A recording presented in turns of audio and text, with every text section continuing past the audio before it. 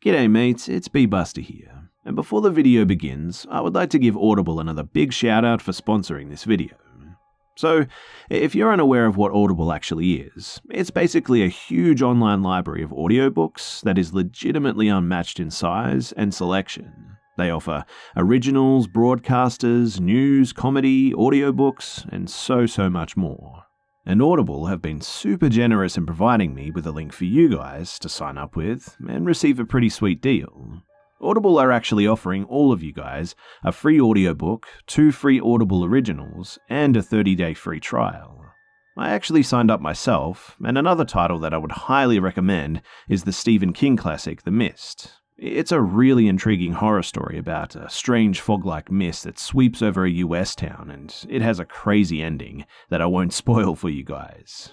I'm currently still listening through the last title in the Passage trilogy by Justin Cronin as my free audiobook for the month. I'm about a quarter of the way through, and I found myself listening to it at night recently, just huddled up under some blankets in bed with a hot drink, and it's been a really nice way to unwind.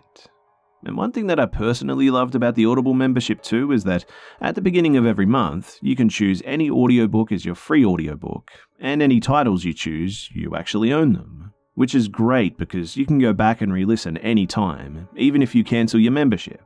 And the cool thing is is that your free audiobook for the month can actually be of any value, even if it's of higher value than the membership price, which is about 15 bucks a month, and means that you can save a ton of money. It also means that you have literally nothing to lose and everything to gain by signing up. Oh, and uh, you can listen anywhere, anytime, on any device, enjoy easy audiobook exchanges, and even roll over credits. So, all you have to do to start listening and capitalize on this excellent offer, guys, is go to audible.com forward slash bebusta or text bebusta to 500 500 to get a free audiobook, two free Audible originals, and a 30 day free trial. That's audible.com forward slash B E B U S T A or text BEBUSTA to 500500 to get a free audiobook, two free Audible originals, and a 30 day free trial. I really do hope you guys take up Audible's generous offer here and enjoy it. But without further ado, let's begin.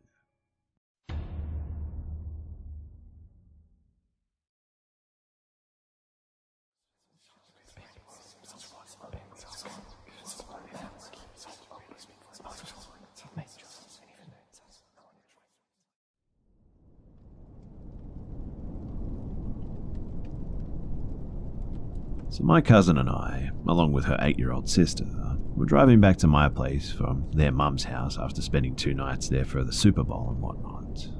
It was this huge family event, and even though half of us don't watch football, all the in laws of the family do. Now, I admit that uh, when I'm driving, I, I get heated when there are idiots on the road. Uh, not full blown veer someone off the highway heated, but just heated. We hadn't been on the road for that long until a truck was seen a little ways onward. This dude was going unbearably slow in the fast lane, too. Also, I need to note that this was around 12am and very few people were out driving. So I put on my right indicator, attempting to move past this guy and go on my way, but as soon as I merge into the next lane in order to pass, the guy in front does the same thing and slams on his brakes. I remember hearing my cousins gasp in surprise, and I was so ticked off and startled that I swerved into the left lane while blaring my horn and giving the man the middle finger.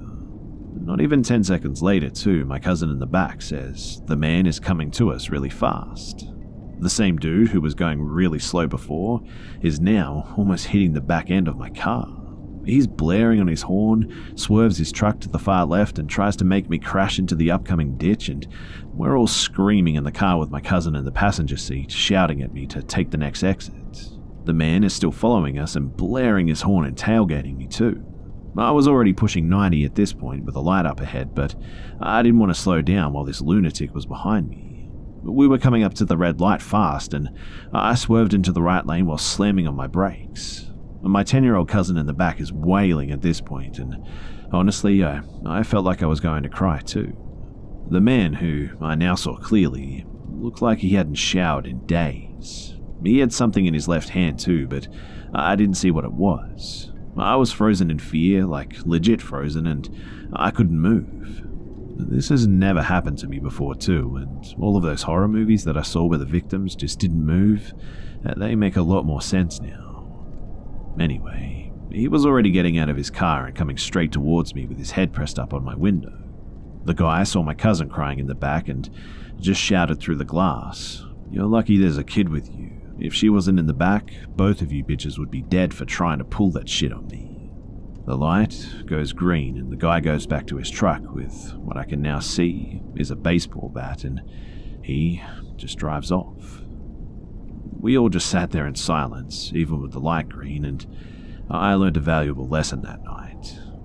You never know who is behind the wheel of a car, and because of that, learn to let it go when someone pisses you off on the road. No horn blaring or middle fingers are worth it, and I guess my only excuse for the last night was just being extremely tired, and I just wanted to get back home in order to get up early to take my cousin to work. Her car is in the shop, and take my little cousin to school. We were really lucky that night, and I hope it never happens again.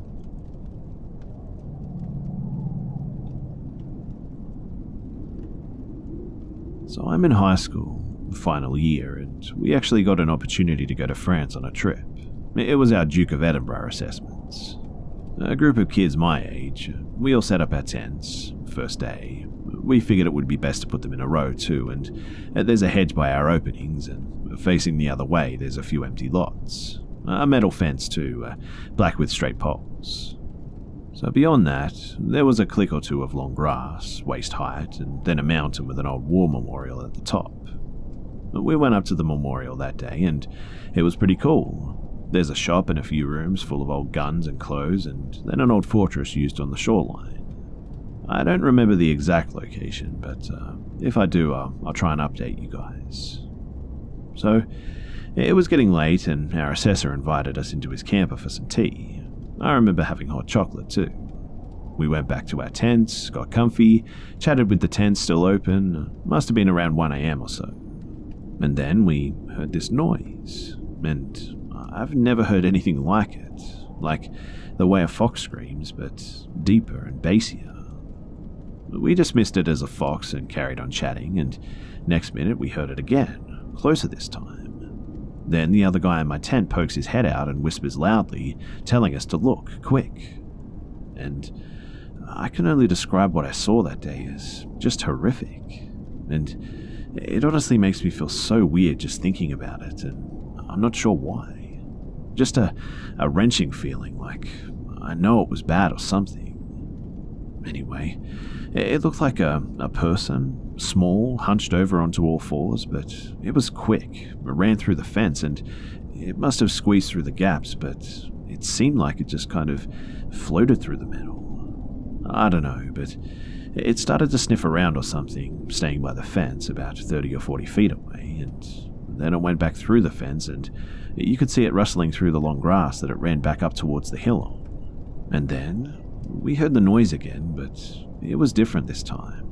A higher pitch this time, and literally sounded like a person screaming, but it was a lot further away. We honestly didn't know what to think, and we didn't panic, which was surprising, and we all just kind of froze in shock. The next day, we went back up to the memorial, and as we were going for some reason, a French uniformed officer with an armored vest and a cap on comes up to us as we were walking to the entrance. He was armed, a small pistol tucked into a holster on his belt. I know a gun when I see it, and he said that we need to leave, that we aren't allowed in, and that was that.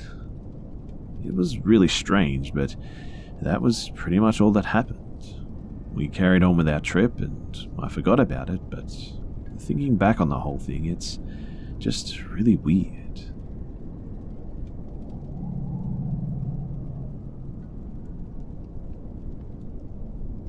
So, to start this, uh, I need to tell you guys a little bit of backstory.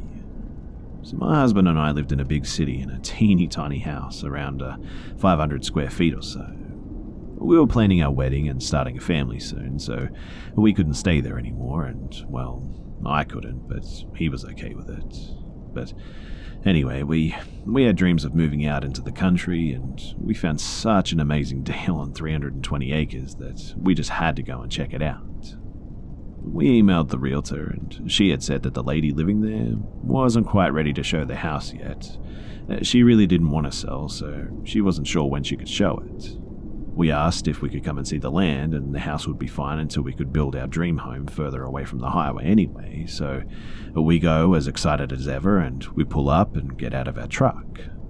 All you could hear were these birds and the wind, and it was just so peaceful and quiet in comparison to city life. And we knew immediately that this was going to be our home. The realtor arrived and the owner wasn't home, so she showed us the house.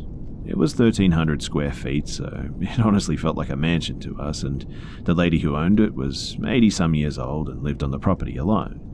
Her children actually wanted her to move closer to them for fear of something could happen to her, and she would always go out into the field on her quad, not trusty at all, or in some sort of beat up old van. Anyway, inside of her house were these pictures of just saints everywhere she was Haitian, and I got the kind of voodoo vibe, but not at all in a, a negative kind of way. So we go to explore the outbuildings, and one of them has this chair, a, a ton of burnt out candles, and some knives. More voodoo vibes again, but not negative. It's a religion, and I'm not one to judge what people believe and all that, but we ended up meeting the lady, and she took us out on her quad to see the land. It stalled a few times. She was really fun and upbeat, and she also seemed to like my husband and myself, so we made an offer and we actually got the house.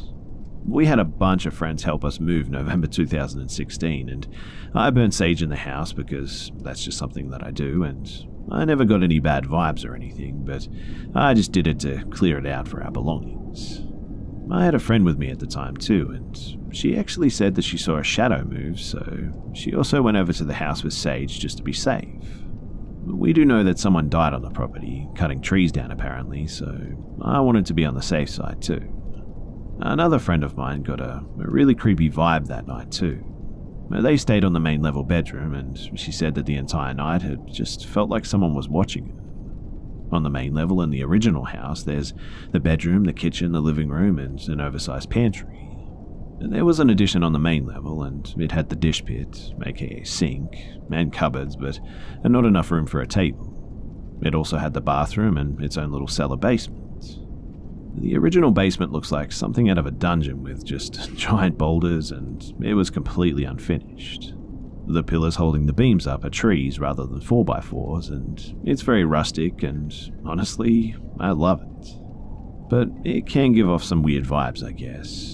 I'm no stranger to paranormal activity, as I grew up in a haunted house, but uh, that's another long story. But my husband has always been a huge skeptic. The beat up, falling apart old barn always creeped me out, though. I just never liked it, and I always avoided it. Half of the roof was caved in anyway, and it looked a little like a, a scene from a horror movie, to be honest, and it even creeped out my husband a bit. He felt like something was always going to jump out at him when he was fixing things in there. Anyway, so on to the paranormal bits now. So, I can't remember really when this started, as much as it just happened in the few years we lived there. But it all seemed to begin when I was walking into the living room and passed by the basement stairs. I saw a, a black dog, almost uh, pit bull shaped, I think, sitting at the bottom of the stairs with just red eyes. I did a double take, and as soon as I looked back, it wasn't there. I went into the basement thinking that it was our big dog, Mastiff Rottweiler Shepherd Lab Cross, but he wasn't there, and he was in the dish pit. So I, I tell my husband, and I just kind of shake it off. I must admit that I did feel a bit uneasy about it, but I didn't want to make a big deal out of it too. At the next event, I actually have a miscarriage. not sure how long after this, maybe a few months, I think. So I'm actually in a pretty dark place. But we also had a falling out with a close friend that ended up being pretty messy and some huge negative family drama with an in law. The in law is very verbally abusive and manipulative and all that good stuff. Anyway, uh, a few months later, my husband has to go work a, a job overnight in another province. First night by myself in the house, too, and it was really creepy. I just felt so uneasy the entire night, and I was so thankful that he was only gone the one night, too. It just felt like I, I wasn't alone, and my dogs were a little on edge, too, and it was super windy and stormy out, and it was a perfect scene for a horror movie, so I just went to bed early and I slept it away. So carry on again, and I'm pregnant once more. Our baby boy was growing wonderfully. Our two old dogs, Japanese chins, had some crazy dental work done, and uh, they weren't happy campers. So they were up all night, and my pregnant self was tired and cranky. So I took my Yorkie poo to the main level guest bed to sleep, and she was pretty restless. And she kept looking to the corner of the room and then moving to different parts of the bed trying to get comfortable. Always to sit up and look at the corner, too. This is the bedroom my friend had just really negative vibes from, and so my Yorkie poo started growling at the corner of the room. So we just noped out of there pretty quickly, and I suffered a sleepless night with our recovering dogs, and it was super dark and you couldn't see anything in the room. And then we had a music festival on our property in June. It was fun, and it all kind of related to this in the future.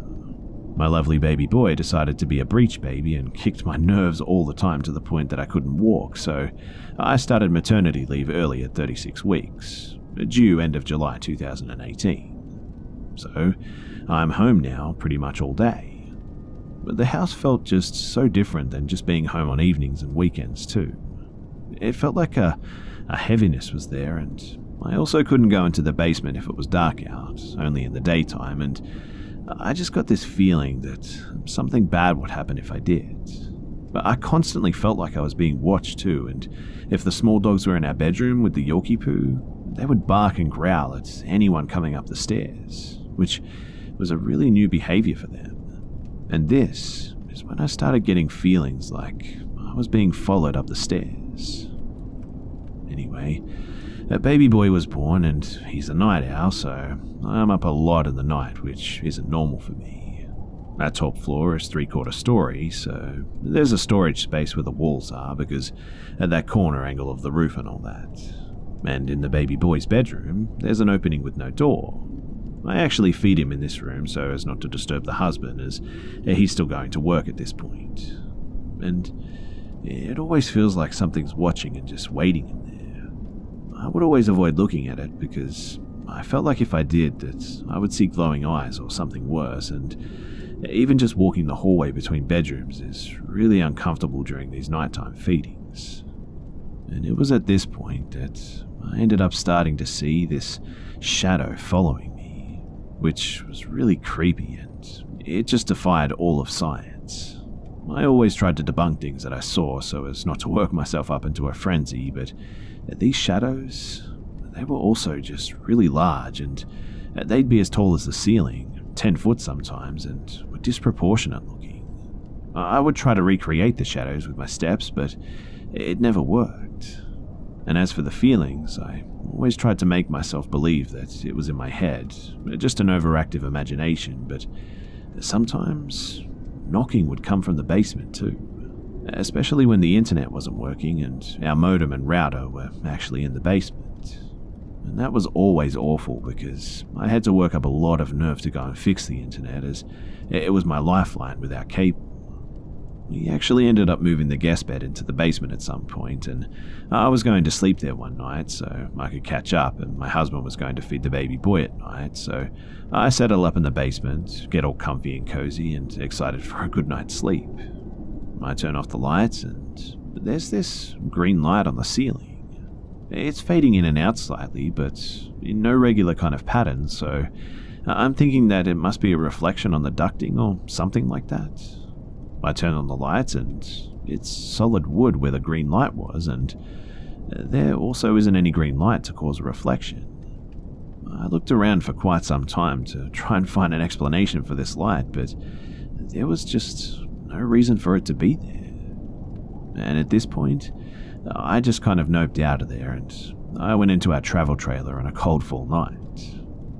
We also had another festival in September and ended up talking to someone that was there in June. So they're asking me about our other big black dog, and I'm like, there's just the one. And they're dead serious that they saw this big pit bull like dog in the field at both festivals. And this kind of made me feel like I wasn't going crazy and that I actually did see something and reassured me that what I was experiencing was real. But then it made me realize that I'm not crazy and that this is actually happening and it was really scary.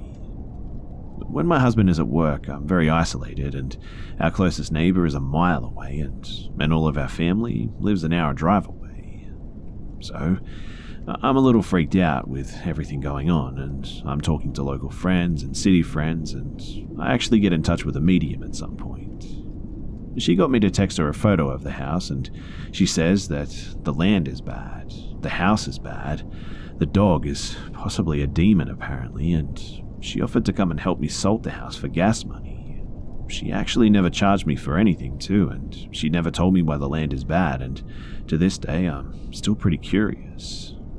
I also ended up getting a local church group to come and pray through the house, but nothing really did anything.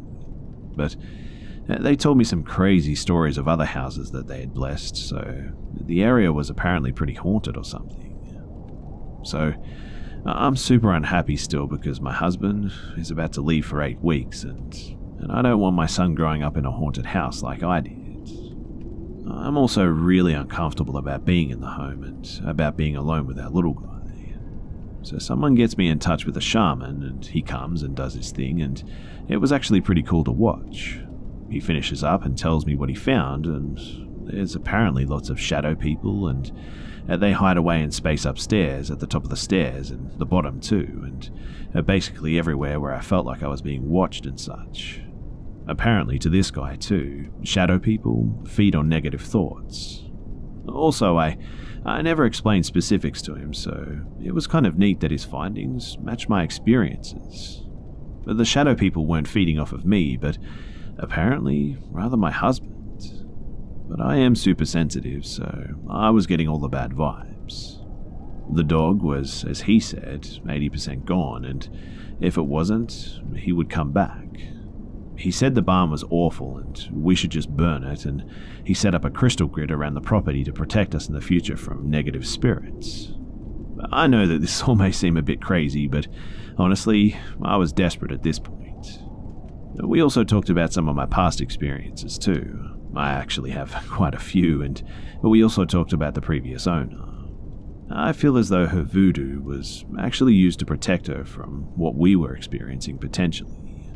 The shaman was actually lovely, and he gave me some blue corn for storing some of my crystals, and he also gave me some suggestions to help keep my sensitivity at bay. The shaman leaves, and husband comes home, says the house feels lighter, and he couldn't believe it. So fast forward a few months, and I'm watching Netflix with my little baby sleeping in my arms, and my husband comes and says that I saw something. Now, that was a little vague, obviously, so I pry a bit. Apparently, he thought one of our little Japanese chins went into the bathroom. It was apparently a white and small thing that went in there, and our chins are black and white, so he follows, and the bathroom door was closed.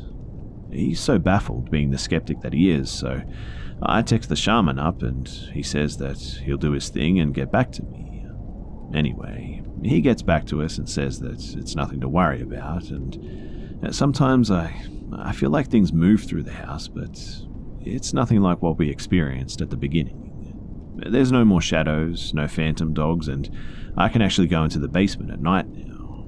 I still don't like going down there at night because it's still a little creepy, but my husband isn't so skeptical anymore and he kind of understands now. But boy, it was a wild ride from moving in here to over two years later. At least for now, all is calm in the home, but man, do I hope it stays this way.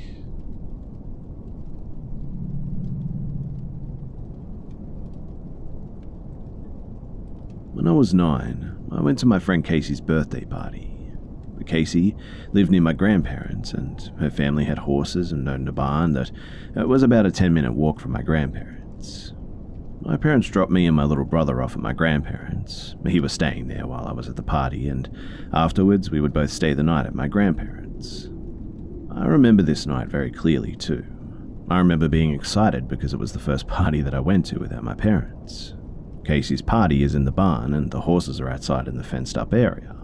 There's music and decorations, balloons tied to basically everything, and tables with food and gifts, and uh, there's a lot of other kids there, but none I really know except for Casey and her older sister. Since I didn't really know anyone, and Casey was too busy to hang out with me much, I, I felt left out, and after a little while of just standing around awkwardly, I, I decided I was ready to leave. It's dark out, and it's way out in the country, so there are no streetlights or anything. I make it less than halfway to my grandparents before I get scared and I turn back to ask if someone will walk with me. I had only been gone for a few minutes, mind you, but when I got back, everything was just different. There were no kids, no decorations, no food or music, just a, a dark, empty barn. Terrified, I, I run all the way back to my grandparents as fast as I can, and once I get there, my grandma is furious with me for being outside. I tried to explain to her how everyone at the party had disappeared, and she had no idea what I was talking about. But there was a party. She told me that we were staying at her house so that my parents could have a date night, and I even asked Casey and her sister about it the next day, and they had no idea what I was talking about. Casey says that her birthday isn't actually for a few weeks. To this day, my family says I must have been sleepwalking and just dreamed the whole thing, but I I can't accept that. I mean, it felt real. I remember it too clearly. There's just no way that it was just a dream. So basically, I went to a party that never actually happened.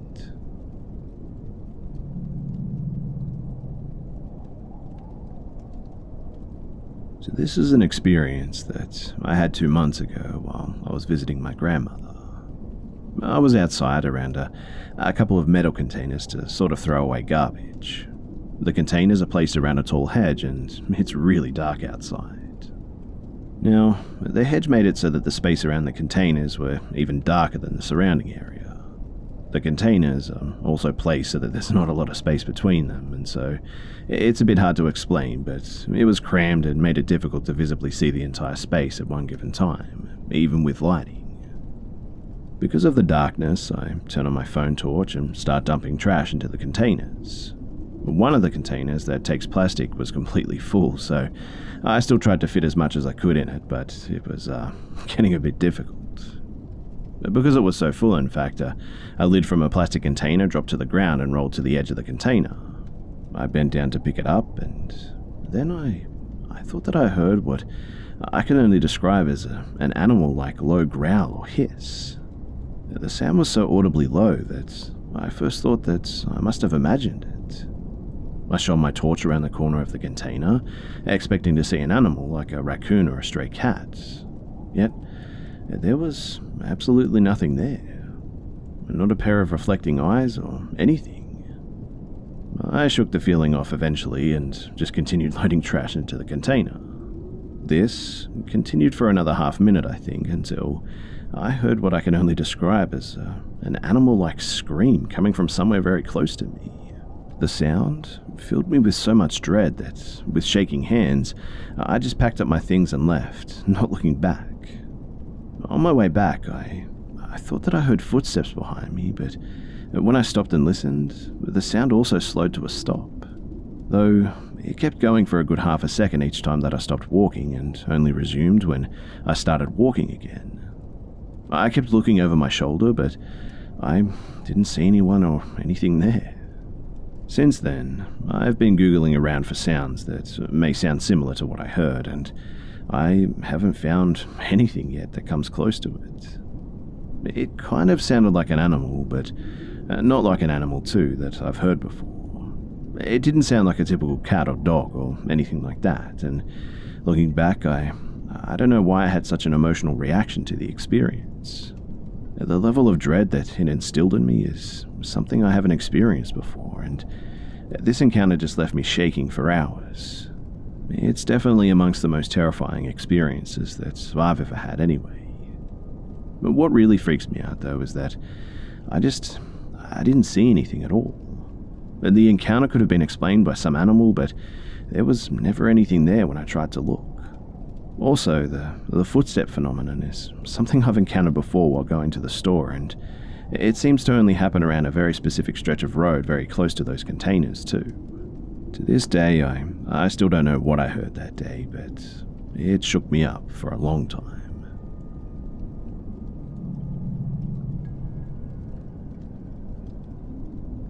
A few years back, one of my best friends and business partner was and still is a single dad. His ex wife was in and out of a mental institution for years, and he had sole custody of his two kids a boy 10 and a girl 14. So my friend had to travel to New York to oversee the multimedia setup for the auto show for the Ford display. I was back at the office with the programmers during the day and would stay with the kids each evening. Their house was a new two story rental in the woodlands in Texas, and the development was built in a, a, heavily wooded area just north of Houston. Weird stuff started happening the first night that I was there, too. I was watching TV with the kids, and the den lights would just go off. The light switch was on the other side of the room as well. I went over, and the switch was turned off. At first, I, I thought it was a problem with a breaker or something, or uh, there was uh, another light switch, but if there was another light switch, then who turned it off?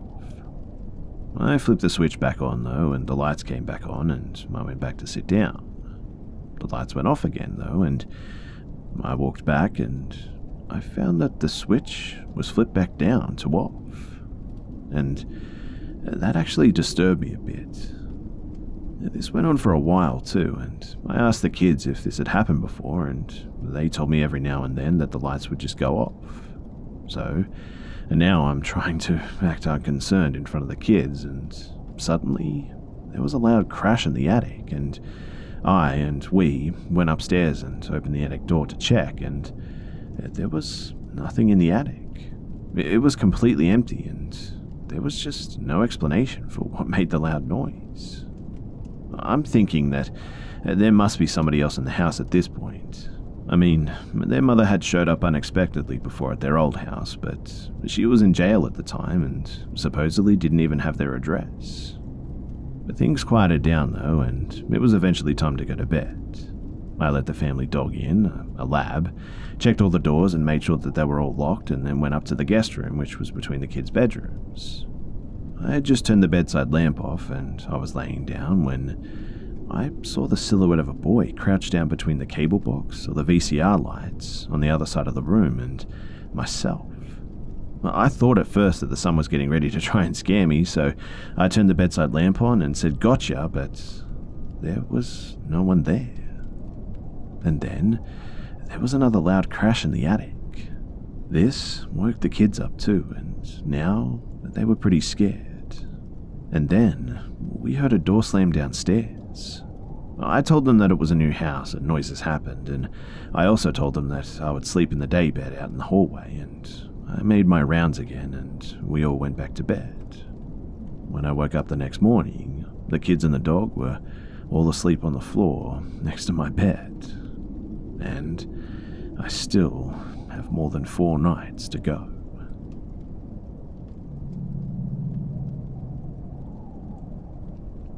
In Emigrant, Montana, a village sized town that has roughly 500 people, resides a large ranch house with a main floor, attic, remodeled into a bathroom, and a really ancient basement. It's located just before the Mill Creek Bridge that crosses the Yellowstone River, and it's really large with acres of land. So, my grandma and grandpa raised my dad and her sister, Aunt Elle, and their half sister there. It was built in the late 1800s or early 1900s, and because it was a massive property with a barn, a separate garage, multiple chicken coops, and fields for livestock or crops, and naturally a, a few ranch hands had died on the property before they moved in. For an idea of what the house looks like, there's a large main floor consisting of two bathrooms, four bedrooms, a laundry room, and a huge kitchen. Up the staircase, which is down a lengthy hall from the living room, led up to only one room. I, uh, I think it used to be a, an ordinary attic back in the day or something, but, but when my dad grew up there, it had already been remodeled into a bedroom. And this was my Aunt Elle's bedroom. I've talked to Aunt Elle before about her bad experiences in the house, most occurring in her solitary attic, as she called it. She told me that she had suffered from just terrible screaming night terrors often, and even as a teenager, refused to sleep up there and instead slept on a mattress in the living room with my grandma. She once described one of her night terrors to me too, and in a dream, she was being pinned to a bed in the attic, unable to move, surrounded by numerous human like figures in red robes. To me, this sounded a lot like sleep paralysis, but she was thrashing around and screaming in her sleep, so it mustn't have been. Aunt Elle was pretty scared after that experience too, and my grandma bought a small crucifix for her to wear as a necklace. They were somewhat religious and Catholic and attended a local church, but usually just my Aunt Elle and Grandma would go. The rest of my family didn't seem to care about religion, but while wearing the crucifix, she found that the night terrors just stopped, even when sleeping in a haunted room. She said that it actually made a huge difference and that she was finally able to feel almost safe in her room again and everything was better. Now, Aunt Elle doesn't know how, but she actually misplaced the necklace a few years later, and almost immediately, the terrible dreams and restless nights came back. It became so bad, in fact, that apparently they had an exorcism, even though uh, that might not be the correct term because only certain priests are licensed by the Vatican to perform real exorcisms, I guess, but I'd call this a, a Montana village version of an exorcism. My grandma called on the members of the church, asking for help after she became just increasingly concerned with Aunt Elle's behavior. Among the other strange happenings around the house and property, like cupboards opening, objects moving, strange noises, etc. Many church members came to the house, including the pastor, and some drove from hours away to participate. They all stood in a circle in the living room and held hands, praying and attempting to rid the house of whatever was haunting it and my family. Aunt Elle says that some people actually even began speaking in tongues. I find that part hard to believe personally, but I love and trust my aunt, and I'd like to believe it happened. But anyway, even with sage burning, crucifixes hung up over doors, and a group of devout Catholics holding hands and chanting, these demonic spirits just never left the house. The Montana made exorcism had failed, and there wasn't much my grandma could do, and they were not about to leave the house anytime soon, so they just tried to live with it. Not long after the exorcism of the house, though, my Aunt Elle remembered her old crucifix working for her and soon bought another one, almost identical to the first one that she wore. And once again, the hauntings and the odd sleep behaviors calmed down until they eventually grew up and moved out. The house was kept in the family, though, but everyone went their separate ways, and they might have rented the place out for a while or something, through the late 80s and 90s, but I'm not completely sure. Fast forward about 15 years, right before I was born, my dad, mum, and older brother, who was only one at the time, got permission from the family to rent the house and moved in to run their horse and glass etching business from home. It was also a beautiful spot to raise kids, right on the Yellowstone, with just so much to entertain us. I was born in 1998 and lived in that house for about six years, I think. I only have memories, though, from ages of about four to six in that house, I think, and my brother was six to eight and has even better memories. And my parents told us countless stories after we had moved out and grew older, too, and uh, we all remembered just how creepy it felt living there, and we all agreed that it was definitely haunted. Once I was no longer in my crib, I got my own bed and room, and my room was next to the kitchen, but my brother's was really far away on the other end of the house. I hated the way my room felt, so I played in my brother's room a lot, and the main floor was honestly massive and really stretched out, like a maze almost, especially for a five year old. My parents took the attic room for privacy, and my dad told me that shortly after moving in, and while I was too young to know what was happening, the night terrors began. My mum was sleeping in the living room on a futon alone at first most nights, which wasn't out of the ordinary because my dad would snore really loud and she just can't sleep through it. She later admitted, though, that she just couldn't stand the vibe coming from that room, anyways. My brother and I always had nightmares, and I especially had terrifying ones about the house itself that I'll never forget. So, we rarely slept in our rooms, which is normal for kids that age, and eventually it got to the point where every night we just slept by our mum on the futon. Our own rooms gave us the creeps, and our parents knew it too, and, and never once questioned it. I know my brother and I were not scared to sleep alone, just scared to sleep alone in that house.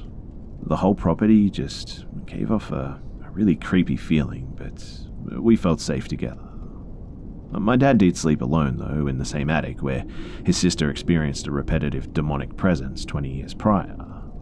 I know he remembers living in the house as a kid, so I'll never understand why he stayed in that room.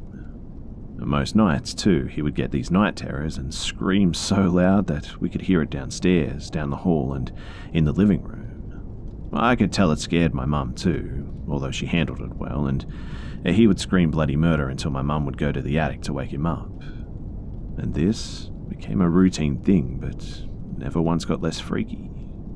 He actually suffered from extreme insomnia at this house, being too scared to fall asleep eventually, or just couldn't sleep at all, and I remember my dad looking like a zombie to me during this time, probably from being so restless and working a lot too. He didn't take on to the whole religion thing as a kid and never turned to the church for help or anything. But talking to him later on, however, he admits that it was very haunted his night terrors usually involved my brother, mum, or myself getting murdered, and he spared me the details most of the time and did never feel comfortable talking about his terrors. And I could tell that it scared him, though. My mum, who was an atheist, although was raised Catholic, had her sandblasting machine set up in the creaky, leaky basement that had stairs down from the kitchen, and a cellar door outside leading to it as well. The concrete staircase spiraled down and was actually pretty steep, the basement itself was riddled with mice, and I think we even found a feral cat with babies down there at some stage.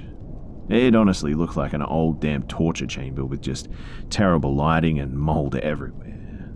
My mother spent countless hours in that basement too, putting designs into glassware and tiles to sell so that she could help my dad support us.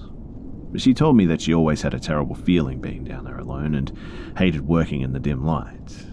Often she would open the cellar door to let light in, but she hardly let my brother or I keep her company while she was working there. Around 2004, we moved out, and the family sold the whole riverfront property for roughly a million dollars to some rich guy who wanted to rent the rooms out for fishermen. Last I checked, though, it has been sold or rented out to some hippie who raises goats or something. I drove by it last week, and you can see through the giant glass windows that she has the rooms illuminated with red lights for some reason. My mum also began having sleep paralysis at that house, but doesn't get into it much anymore. My parents divorced in 2014, and she's now engaged to someone else, about to be happily married this March, too. My dad's night terrors continued for years after we moved, too, but eventually they stopped, and his insomnia just never went away and he was restless until the day that he passed away, and it was last weekend at the young age of 50.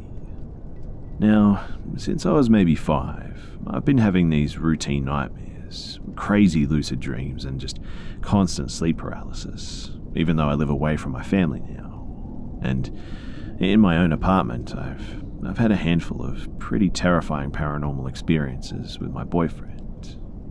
My brother is actually 23 now and takes care of my grandma in the apartment my dad died in, and he hasn't had nightmares like he used to, I think.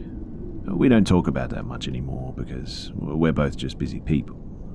My cousin, Aunt Elle's daughter, recently told me, though, that she also suffers from sleep paralysis and oddly frightening dreams, although she never lived in the ranch house. They did come visit a lot, though, when we lived there, so I guess there's that. But We're both 20 years old now, and uh, we don't talk either much nowadays, but we always felt a stronger relationship than the other cousins did because we look pretty much identical and sound alike. It's currently 5:20 a.m. at this point, and I'm telling this story because my aunt Elle called me about an hour ago, and this was just really out of character for her because she has a normal 9 to 5 job and thus a, a normal sleep schedule. She doesn't work tomorrow, but it's still a little bit strange anyway, she called me to tell me that she actually found her original crucifix, which she wore when she had almost lost it 30 years ago in that house. She gave it to her daughter and told her to wear it, as Jesus is supposed to protect you from demonic presences, she said, and she also decided to give me her second crucifix, hoping it might protect me from whatever invisible presence might be around me. To be honest, I plan on never taking it off, as she really wants me to have it too. Please understand that I know millions of people experience sleep paralysis and nightmares every day, and they aren't demonic or spiritual, and even though they feel that. The scientists can somewhat logically explain why these things happen to us in our sleep with science. However, I don't feel like my family's experiences can be explained completely that way. I was raised without a god to pray to, and I've never been religious, in fact, doubting the presence of a higher power altogether. I know that this was a pretty long story, but everything that I recall myself and was told by my Aunt Elle, my dad, my mum, and my brother and my grandma is true. I didn't make any of this up, and I did not exaggerate any details intentionally. Keep in mind, too, that I was very young when I lived there, and I totally admit that it's possible my young mind interpreted some events as scarier or different than they actually were. But uh, my dad's night terrors were really scary, no matter what age I was. Funnily enough, though, I, I kind of miss that house. I mean, I had my first memories there, with plenty of amazing ones to help weigh out the scary ones. Anyway, I never thought that I would share this story here, but uh, I just had to share it with someone, so I hope you guys enjoyed it.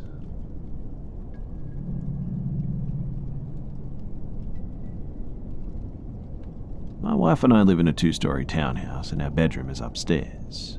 Just inside the bedroom door and to the left stands a, an old full length freestanding mirror. The frame is made of oak, and I was given the mirror over 20 years ago now when a friend cleaned out his house. Our bed is in the middle of the room, with the mirror being just across the floor from my side. Now, one of our dogs sleeps in the bed with us.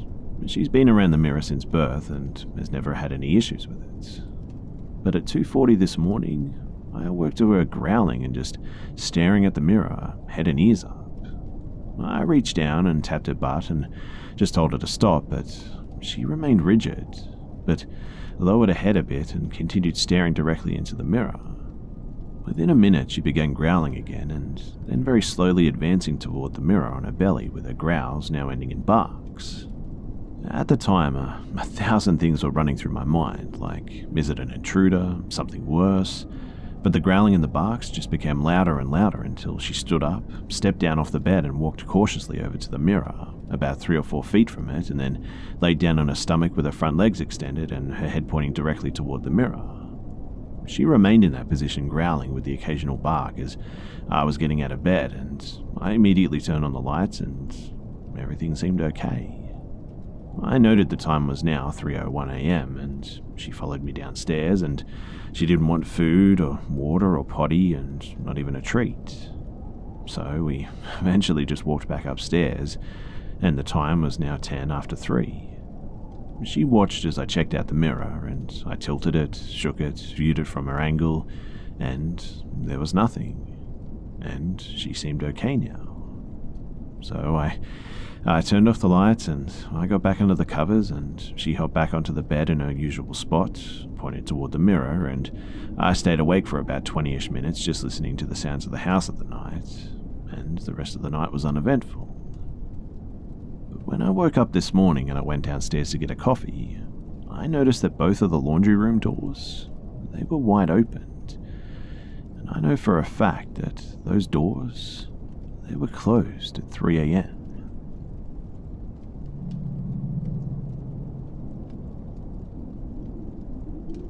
So, first let me set up some background to make the flow of the story smoother. This happened almost 19 years ago, too. So I was nearly 13 years old and I was being raised by my grandparents. We lived in a, a tourist town in Florida. They had problems with their two daughters as adults, my mother being the older of the two, and they wanted to do everything that they could to make sure that I didn't turn out the same way. A do over, if you will. So, needless to say, they were very strict. My aunt was having a good period at the time. And she kind of got her stuff together, and we were all pretty close. My aunt also understood what it was like to be raised under a glass dome, metaphorically speaking, and so, uh, being as she was my only aunt, she made sure that the time we spent together was really cool. I would stay over Saturday nights and we'd go out and hang out at the pier, and she'd let me hang out with my middle school boyfriend, who would find ways to get to wherever I was. Now, my grandparents had no idea of any of these activities, of course. I was just spending some quality time with my aunt and giving them a break. It was actually nice that I had a younger female figure since my mum wasn't around, and one night when we were out having fun, my aunt meets this guy and they really hit it off. He was really nice and introduced himself to me. He went by JR and at first was uh, kind of charming and a bit of a talker. But they exchanged numbers after hanging out a while, and when we went home, we went to bed. They ended up going out a bit more too, and my aunt had really liked JR. He took her to his home and introduced her to his father and showed her around his land, and he lived out in the woods in the middle of nowhere. I've lived in this town for 30 years, and I still to this day couldn't tell you exactly where it is. I was only there once, and he was teaching my aunt how to shoot a gun. I remember her shoulder rocking back with the impact of the shot, and it surprising her, and he had those uh, those weird flamenco dancing clothes in his closet. And it was all seemingly harmless, and I mean, everyone has their quirks, right? Well, about 10 days, maybe two weeks later, we were again at the pier out by the payphones, just talking about what to do that night and what to get for dinner and whatnot. JR and my aunt were in their late 20s, early 30s, and as much as she loved me, I, I imagine that there were times that I kind of got in the way. Anyway, we're at the pier and he's talking about how he has these painkillers. He offered me one and I declined, of course, and I told him that I had a high tolerance to pain anyway and didn't need that stuff. He then, with a huge smile, asks if he can see for himself, assuring that he won't really hurt me, he's just trying to have some fun. And this guy twists my arm behind my back until I hear a pop. I start to cry, and he laughs and says, Oh, sweetheart, I was only playing.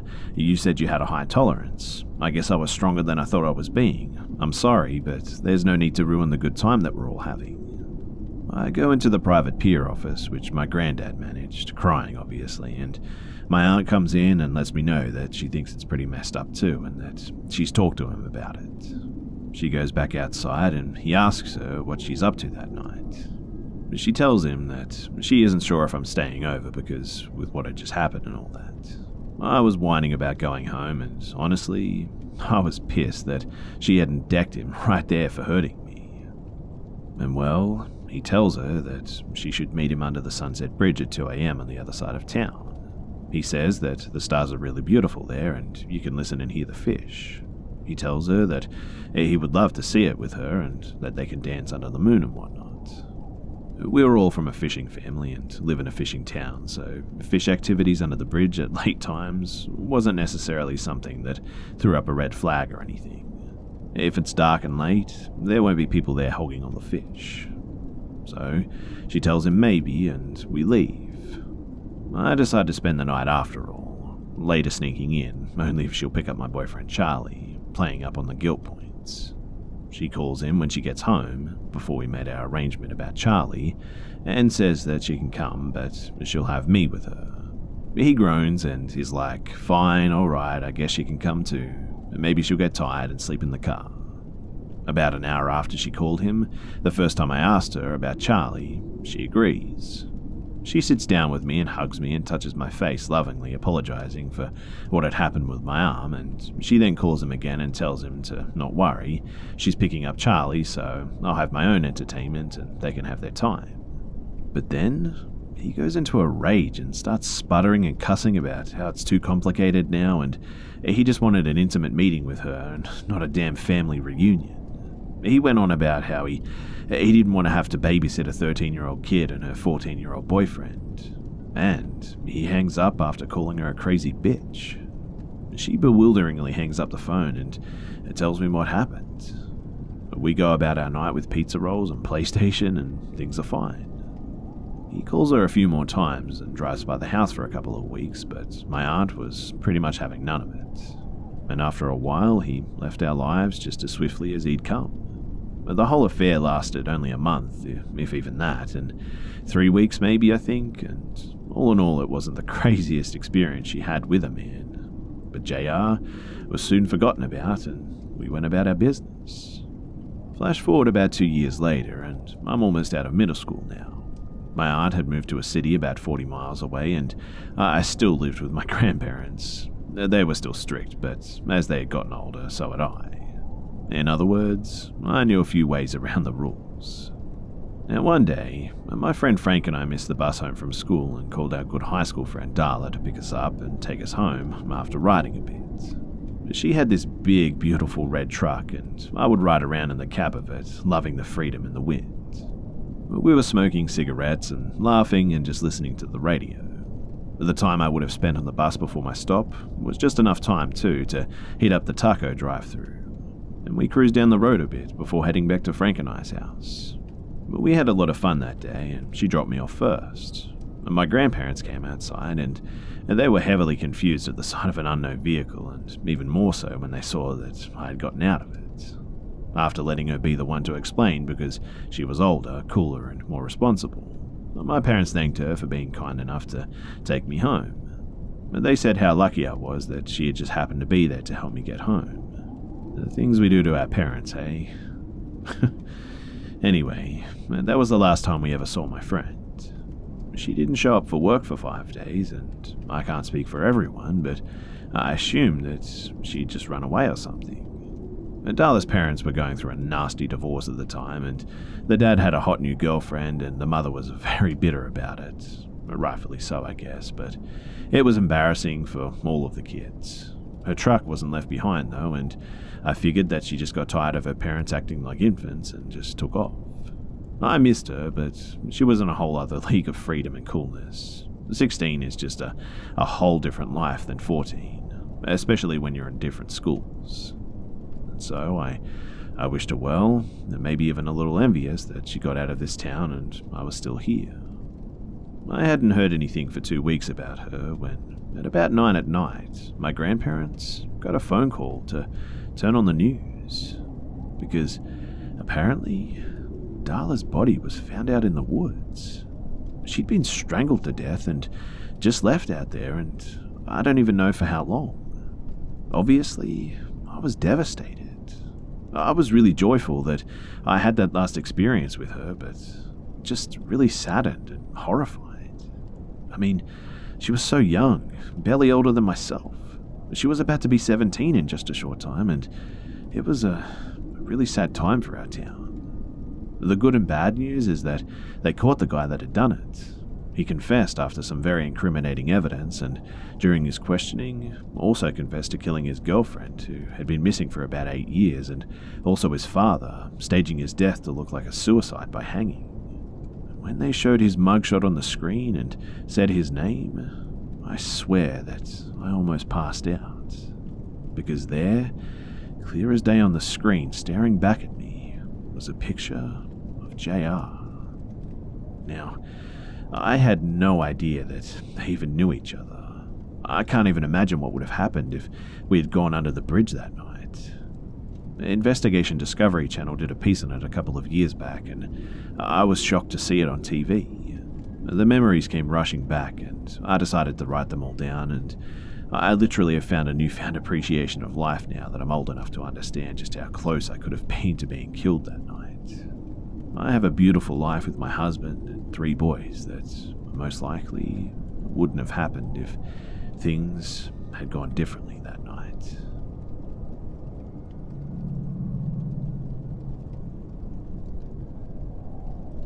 A little over a year ago, I had a job working overnight at a gas station close to my house. I'm a woman and was 31 at the time. I know that to some it's going to seem unsafe for a woman to work graveyard shift by herself, but it was a slow store and the sheriff's office was about 20 feet across from it. Honestly, I, I really didn't think that I would have that many problems. And I mean, there would be about 30 customers in an 8 hour shift, and that was uh, on a busier night too. Anyway, it was about 3.30 in the morning and I went outside to sweep the parking lot and last minute check the trash and all that. It was time for a cigarette, and I had one headphone in, kind of jamming out. Across the road in the parking lot of the sheriff's office, I, I saw a figure with his back to me. He was swaying back and forth while looking down, and honestly, it uh, looked like he was enjoying a much needed piss or something. But against the sheriff's office, though? Yeah, Uh, the building closes at 4 pm and doesn't open again until 6 the next morning, but why? By the back of his ripped white t shirt, I, I remembered that he had come in about four hours earlier. He was a total creep, and I could already tell that he had a good buzz going. I didn't say anything, and I just took my eyes off of him and tried not to draw attention to myself. And it was working until a car pulled in. I was still outside as they pulled up, and I saw him look at the car and then at me and back and forth again. As the customer is leaving, I walked her outside, and I still had half a smoke burning and had left my dustpan outside with the squeegee. But We both heard him start to swear angrily and seemingly engage in an argument with himself, and she looked across the road and told me to be careful. I made an awkward joke about him being the one who should be more afraid of me, or uh, something like that, the man was still there, but closer to the road now, facing the parking lot of my store. But whatever he was yelling was completely unintelligible, too. He was obviously very drunk and could barely stand straight, still swaying away. I didn't engage him, but I didn't take my eyes off of him at this time, too. I just kind of slowly walked back into the store, and something about his face just really bothered me. It had a, a darkness to it, but his eyes just looked wild. My experience during graveyard jobs has been that crazy eyed ones are the worst ones. I didn't like it at all, and I wanted no part of it, and I still had almost three hours to go, and two before any other employees got there. So instantly, I went to the computer and typed up a temporarily closed sign, just in case he wanted trouble. I was coming around the counter on my way to the doors when I saw that he'd walked across the road to my side. I literally just barely got the second door locked when he stumbled into our very small parking lot. Uh, my hand makes the mimed hand signal for cut across my neck, basically saying, No, sorry, you can't come in here, we're closed. And I shook my head back and forth too, hoping to further discourage him. He started walking away, but screamed something at me while he's walking, and I don't mean that he was grumpy and shouted at me or yelled that I was an asshole or anything. I I mean, like, he was at an enraged volume and was violently throwing his hands just everywhere but definitely knowing that I'm in the wrong shift of the wrong job, I, I got really skeeved out at that point. I decided to call the cops at this point, and it's a good thing too, because the minute that I hung up with them, there he comes again, up to the door, and he starts pulling and banging on it, and he backs up and runs into it, trying to ram it.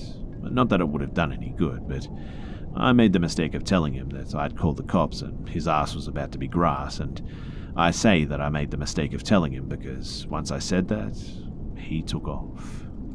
The police never did find him, too, and they drove around the road and surrounding neighborhoods for over an hour, but basically found no one. He was on foot, too, so I don't get where he could have gone.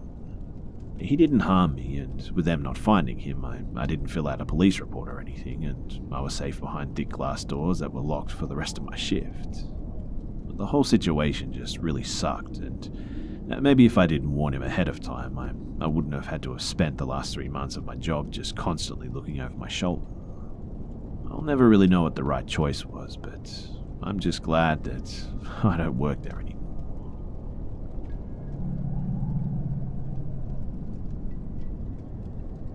So I was a janitor for a little bit a while ago in a building that was only accessible by a key fob.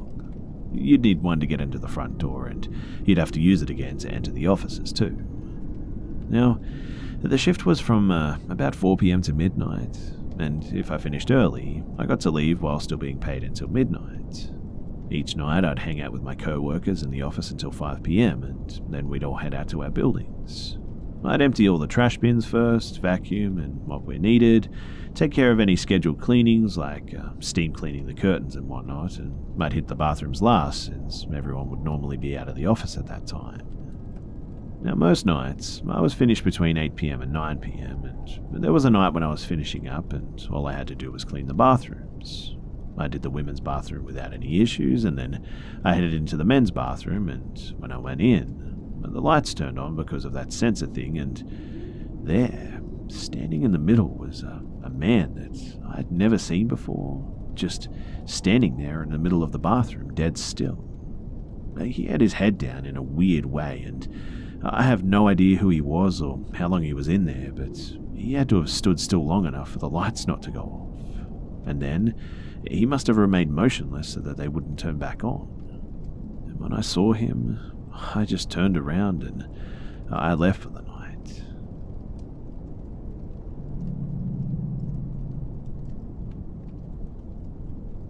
This happened about four years ago at my then girlfriend's house. She lives in the sticks of NC with the neighbours on either side about uh, a half a mile away. Her parents and older brother were home at the time, and for context, we were both 15. It was around 11pm on a Saturday, and a car pulled up in the driveway, and the headlights shined through my girlfriend's bedroom window, and we heard a car door shut. My girlfriend and I figured it was a family friend or someone who was coming to hang out and drink with her parents or something, and uh, we honestly didn't pay it much mind. About 10 minutes later, my ex's father comes into the room looking pretty frantic. He tells us to lock the windows and to grab a gun just to be safe. We walk out of the front door and we sat with her mum and brother in the kitchen. Her dad comes back around two minutes later and walks into his bedroom, comes out with a handgun, and walks out the front door again.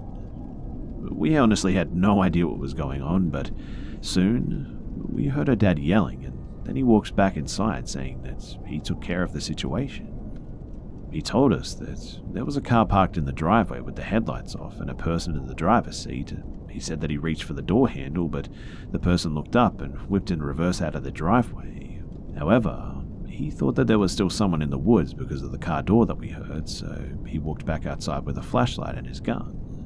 When he came back in, he told us to lock everything and for all of us to stay in one room. He said that he was walking around the house and he shined his flashlight into the woods and there was a trail of reflectors that were stuck to trees leading from the road to their house and he fired his gun a few times to hopefully scare them away. Thankfully, nothing else happened, but it was a nerve wracking experience nonetheless. But was this someone planning on robbing us or murdering us or something? We had no idea, but I'm glad that we didn't have to find out. We obviously all sat and slept in the living room together that night, and I left the next day. I also forgot to mention that the reflector things, they were actually screwed into the tree, so this was definitely premeditated. Her father actually left them up for the night, but took them down the next morning, and the whole situation was eerily weird.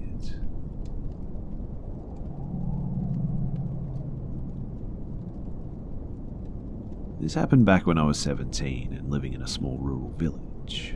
I'd been at a friend's all evening, just watching films and chilling, and I left to go home at around 11 pm. It was quite a long walk back to mine, as she lived on the outskirts of the village down some back roads, and I felt relatively safe as when it got to a certain time of the night, it was pretty quiet here.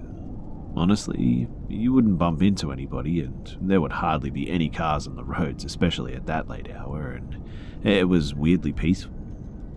Where I lived was a large avenue, too, with two big blocks of houses, like uh, the two big circles that you would get to after following a small dark road that consisted of a few large old houses.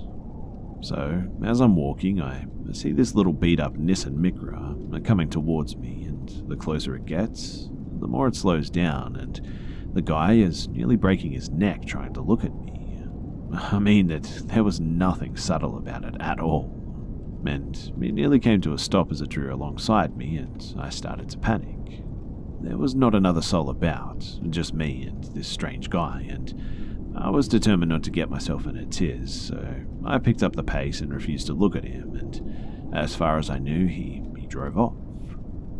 I continued walking home, which was literally a five minute straight line from there, and I kept listening out for a car engine and was vigilant of any headlights just creeping up behind me or anything. I didn't hear anything and I didn't see anything, so I breathed a sigh of relief as I could now see my house. I walked in and locked the door, and I saw my mum stood in the living room just chatting on the phone. I'm trying to interrupt a conversation telling her about the weird guy in the red car when, for some reason, she goes to the front window and peeks through the curtain and she takes the phone from her ear and says, What, that car? Uh, this was all in a minute since walking through the door, and I'm thinking to myself, it can't be him because if he had followed me, I would have seen or heard his car, for sure. But before I get a chance to look for myself, there's a knock at the front door, so I go and answer it, only pulling it open a few inches, and there's this guy stood there, empty handed, wearing like a, a baseball cap. And it was definitely the same guy from the car, and I'm just like, uh, what the hell?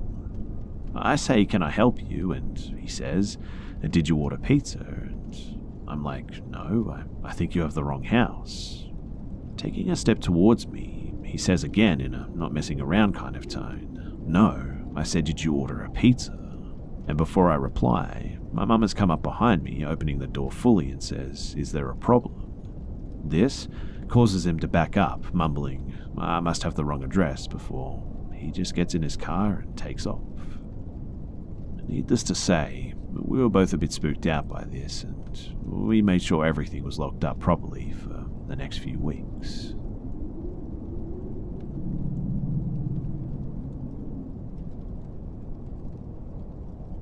A few months ago, I responded to an Instagram ad for a girl that was new in town and needed someone to watch her dog while she went on a trip. I didn't know her well, and just that she was extremely spiritual and maintained a, an Akashic record practitioner business or something. Still not quite sure what that certification or business title means, but we've since become friends. So, it was a great dog sitting gig. The dog was really intelligent and sweet, and her house, though small, and a little out of the way in the countryside. It was cozy and relaxing, and complete with all of the spiritual supplies crystals, sage sticks, candles, all that sort of stuff. And the backyard had a, a hammock and string lights and crickets chirping in the evening, and quite honestly, it was really peaceful and beautiful. The whole gig was supposed to be a nice getaway for me, but I was wary because I knew the chick dabbled in lots of uh, spiritual things, and in the back of my mind, I worried what type of energy she might be letting into her space. And there was definitely something spooky about it, too. Like, for instance, when we met at the house to discuss details, she looked overhead suddenly and sighed deeply. And when I looked up, I saw an open winged hawk gliding closely to us through the pine tree landscape, and it was a majestic sight. And as we stood there silently, it felt as if we were meant to be there. Not in a romantic sense, but kind of in an eerie one. It was as if time just kind of stood still or something. Anyway, the energy of her house seemed to come alive at night, and each time nightfall came, feelings of just unease crept up on me. I obviously pushed those feelings out of my head and attributed the spooky feeling to the fact that there was no TV in the house, so maybe it was just really quiet and I just wasn't used to it. I had been there alone for a week and had a responsibility to be there for this dog, so no room to get scared, right? Well, towards the end of my stay, I was sitting up on the couch one evening and I felt something touch my right arm just a soft poke, in the space between my shoulder and elbow. I looked at my arm, looking behind me, and glanced all around the room looking for some sort of logical explanation, and I told myself that it must have just been a draft from the fan or something. It totally wasn't, but again, I, I didn't want to be scared, and I didn't know what to think. I finished my beer, and I went to bed eventually, and in the following weeks, I told the story to my friends and a few of my sisters, but never mentioned it to the lady that I was sitting for. I'm not sure why. I, I guess I just didn't want her to be offended or something. However, she ended up moving out of that house and back to her home state of Vermont, so I finally decided to reach out and pry a little bit. I asked her if she ever felt anything spooky in the house, and that was pretty much it. Keep in mind, too, that I had told her nothing of what I had experienced. And here's her response. She told me that, yes, especially at night, it would start to feel really eerie, and sometimes I would feel a hand on my right shoulder. It used to scare me so bad that I would run to bed and hide under the covers, but then I started to look at it as a, a hand guiding me through the darkness. After she told me this, I, I told her all about my experience, about feeling something touch my right arm. And she said, Yes, I'm quite certain that it was the same, with a really weird and kind of joyful little giggle. Obviously, I never went back to that place, and after some time, I lost touch with that woman too.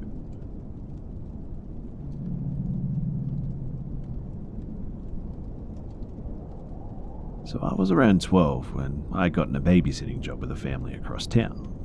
This family was new to the area and just recently bought the house next to my best friend's place. My first day over was to just kind of get familiar with the kids in the house and whatnot. The parents stayed and evaluated me, and of course, I answered any questions, and I spent my time playing and keeping the children occupied. And there was a boy named Devon, age 4, and a girl named Cameron, age 7. So, obviously, I, I had my work cut out for me. Cameron wanted me to go to her room so that she could show me her toys, and I followed her up the two flights of stairs, but as we came to the top of the stairs, I felt strangely lightheaded and the hair on my arms just rose up. I just had a, an intense feeling of being watched, like there was someone else up there with us. I tried to ignore the sensation and continue with my duties of finding Cameron's favorite doll so that we could go back downstairs. And at the end of the day, it was decided that I was a good match and I was to come back on Saturday morning. But as I headed home, I, I just couldn't shake the feeling that I got from that upstairs section. I told myself that, eh, it must be nothing, and I brushed it off to just being a new place and unfamiliar surroundings. So Saturday morning rolls around, and I show up to a busy home as the parents tried to get out the door and show me the last minute things that I needed for the day ahead. The kids were up in their PJs, just eating breakfast, and already talking to me about all the fun things that they wanted to do today. After the parents left, I ushered the kids off to get changed. As I was cleaning up the breakfast dishes, I, I heard a loud bang coming from the dining room. I ran into the room and found one of the false ceiling tiles had fallen from its place. Puzzled, I tried to put it back up, but it wasn't an easy task, and after some struggling, I managed to fit it back in, and I thought to myself, how could it have fallen out by itself like that? Anyway, the day went on, and now it's close to lunchtime, and the kids are watching TV, and I'm in the kitchen making something for lunch when I hear a, a loud bang coming from the dining area again, and I look, and sure enough, that tile's come out again. This time, I, I left it for the parents to see when they get home. Maybe they can fix it, I thought. Now, the kids wanted to play hide and seek, so we started off with Cameron seeking and myself and Devon hiding. As Cameron started to count, we scurried around trying to find the best hiding place, and I found the downstairs bathroom to be the best place for me. It was easy enough for Cameron to find me, and I hid Devon close to me so that I could keep an eye on him. As I entered the bathroom, I closed the door quietly behind me, and I walked a few steps into the room and was now facing the mirror. As I was looking to my reflection, I also noticed something behind me moving. It was the the closet door directly behind me, and it was slowly opening.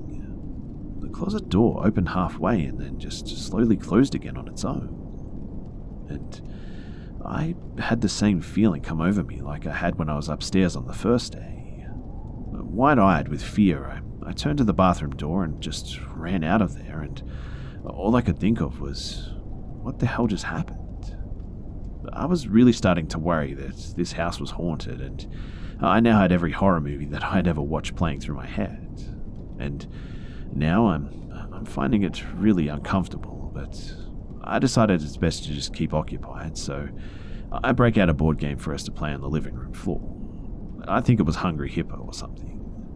We were playing for around 20 minutes before I noticed something out of the corner of my eye moving again. I turned my head to see what it was, and it's a, a child's shoe just tumbling across the floor, all by itself. The kids stopped, and we all just watched in confusion, and honestly, I was in disbelief. Cameron let out a scream and she just ran for the door, and at this point, I grabbed up Devon and I just followed her. We went to my friend's house next door and we told her mum everything, and I'm not sure if she believed me, but we stayed over there until the parents got home. When they showed up, we told them what we saw, and I don't think they believed me either, but I showed the panel that fell out, and apparently it's been an issue since they moved in. And as for the rest of my accounts, they just chalked it up to a, an overactive imagination. But I know what I saw and what I felt, and I know that I wasn't imagining things. I later found out a bit of history of the house, and apparently, a man died in that house of a heart attack upstairs in a room above the dining room where the panel kept falling out.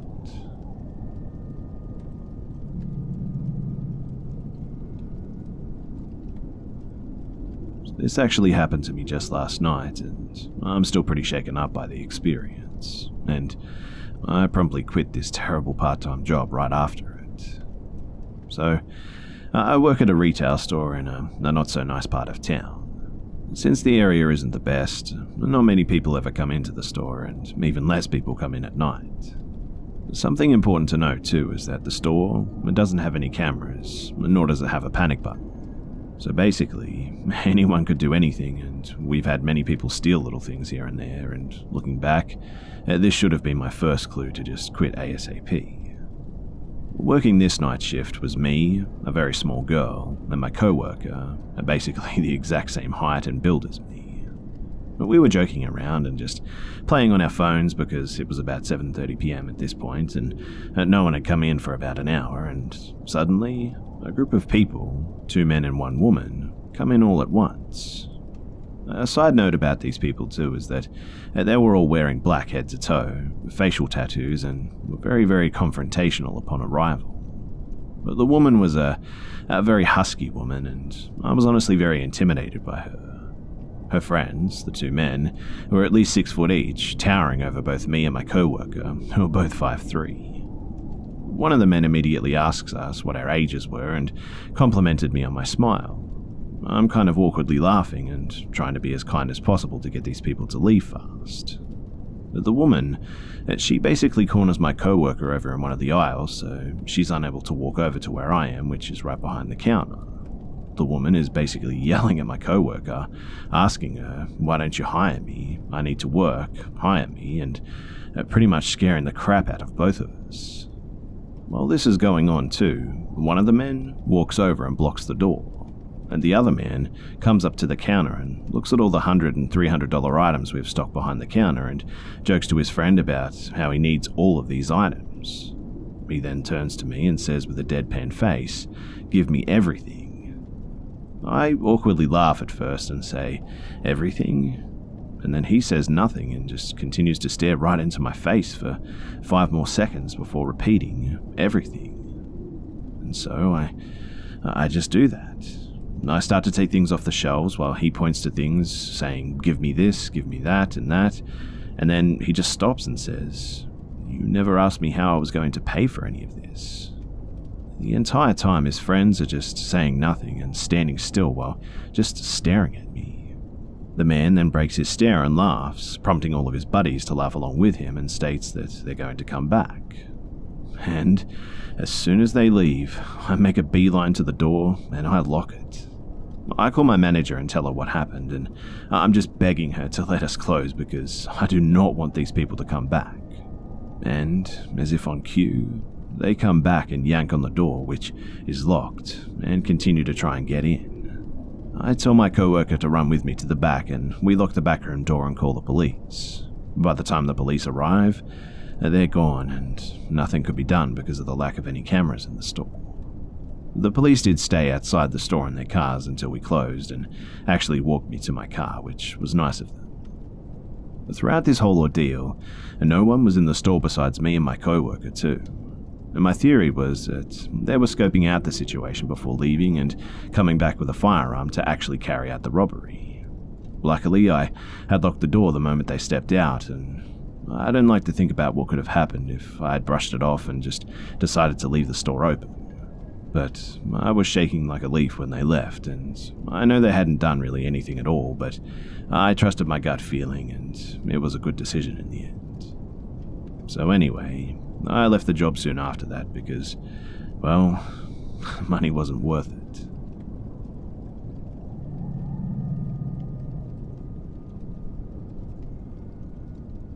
I remember this rather clearly, even though I was young. I was on a field trip to a popular public park with my daycare. It wasn't unusual for adults to go to this park by themselves, and it was super decked out. There was a train, vendors, sometimes concerts or clowns, so it wasn't only a playground. Anyway, I was always the awkward kid, so I wasn't playing with the other daycare kids, and instead, I was sitting quietly off to the side, just daydreaming, as I often opted to do. And this made me an easy target since I was just chilling solo. There were others around, and I wasn't completely secluded, but I was just off doing my own thing. So, uh, my mum had talked to me about stranger danger before, but I had it in my head that strangers were scary, so I actually didn't know what a stranger really was at the time. I just knew that they were bad people. And this woman walked up to me with a camera in her hands. She complimented my t shirt, which had a cat photo on the front, and told me that she worked for a cat magazine and thought that it would be a good model for it. Naturally, I was totally down for the prospect. My daycare teachers and the other kids didn't notice that I was talking to a random woman, and she asked me questions like my address, where my mum works, my mother's phone number, my social security. I couldn't really answer most of her questions because, I mean, I was just four years old. But it didn't deter her. She got my name and my age and everything I did know I told her when she asked me, and she was super nice, I remember, and after I answered her questions, she took a picture of me. After the picture was taken, she said that she needed to go to a car to grab something.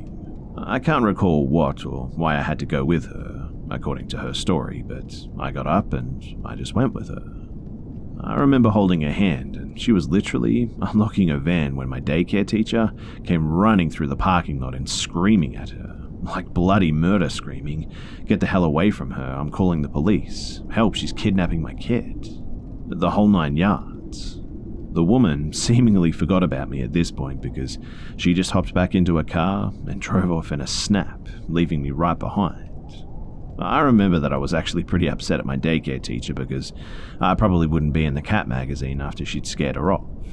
I was crying, and the daycare lady was consoling me, saying that it was okay, she left, I'm safe, but I was crying because I couldn't be in her magazine. My mum picked me up and took me to the police station where I was asked all about the incident, and they never caught her to my knowledge. Like, I didn't know her name or anything really, so I'm not sure what they were going to get her on, but I remember my mum was irritated because the best that I could do for her description was long brown hair and jeans.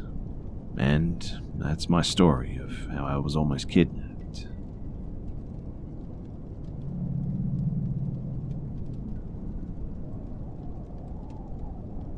So at the start of the year, we were all introduced to our teachers. All of them were pretty good teachers too, except for Mrs. C.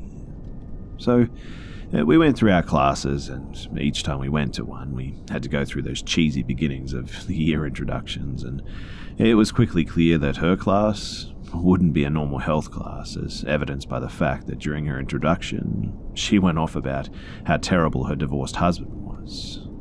Classes started picking up, and her insecurity somehow kept making it into lectures too, and one day, a few weeks into school, she just stopped showing up to class you know, her job, consistently.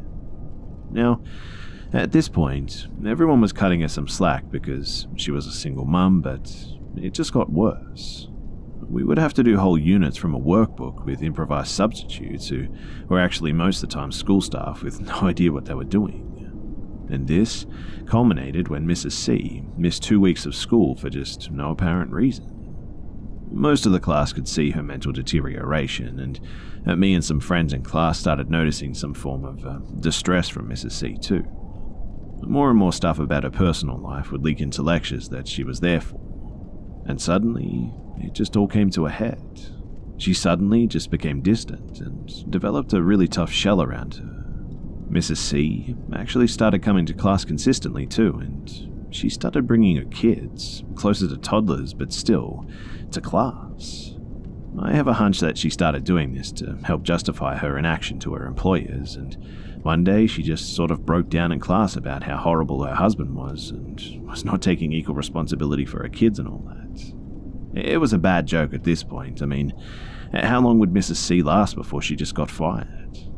Unluckily for us, it was too long. We just sort of endured lectures from this really mentally unstable woman for quite some time. Mind you, she was doing a fine job at suppressing traits associated with what was going on around other school employees.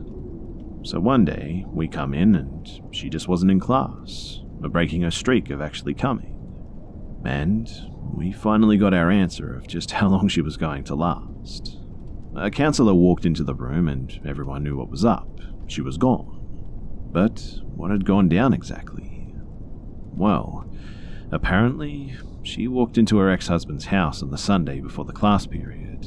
Her excuse to her ex was to deliver cold medication to her kids, and after threatening to call the cops after her home invasion, she locked herself in the bathroom. She called the cops and unlocked the door to the bathroom, and she then walked over to her coat, pulled out a gun, and opened fire on her ex's girlfriend, killing her. Mrs. C then pinned everyone into the house until the cops showed up, and and that wasn't her first offense either.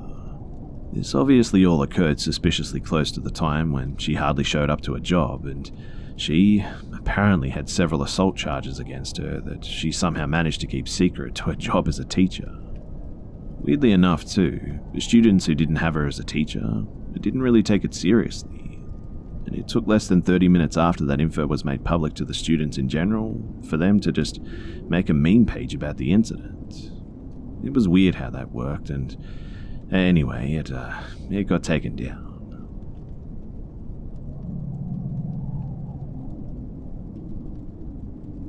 So I have lots of creepy encounters during my travels, but uh, I'll start with the most recent one.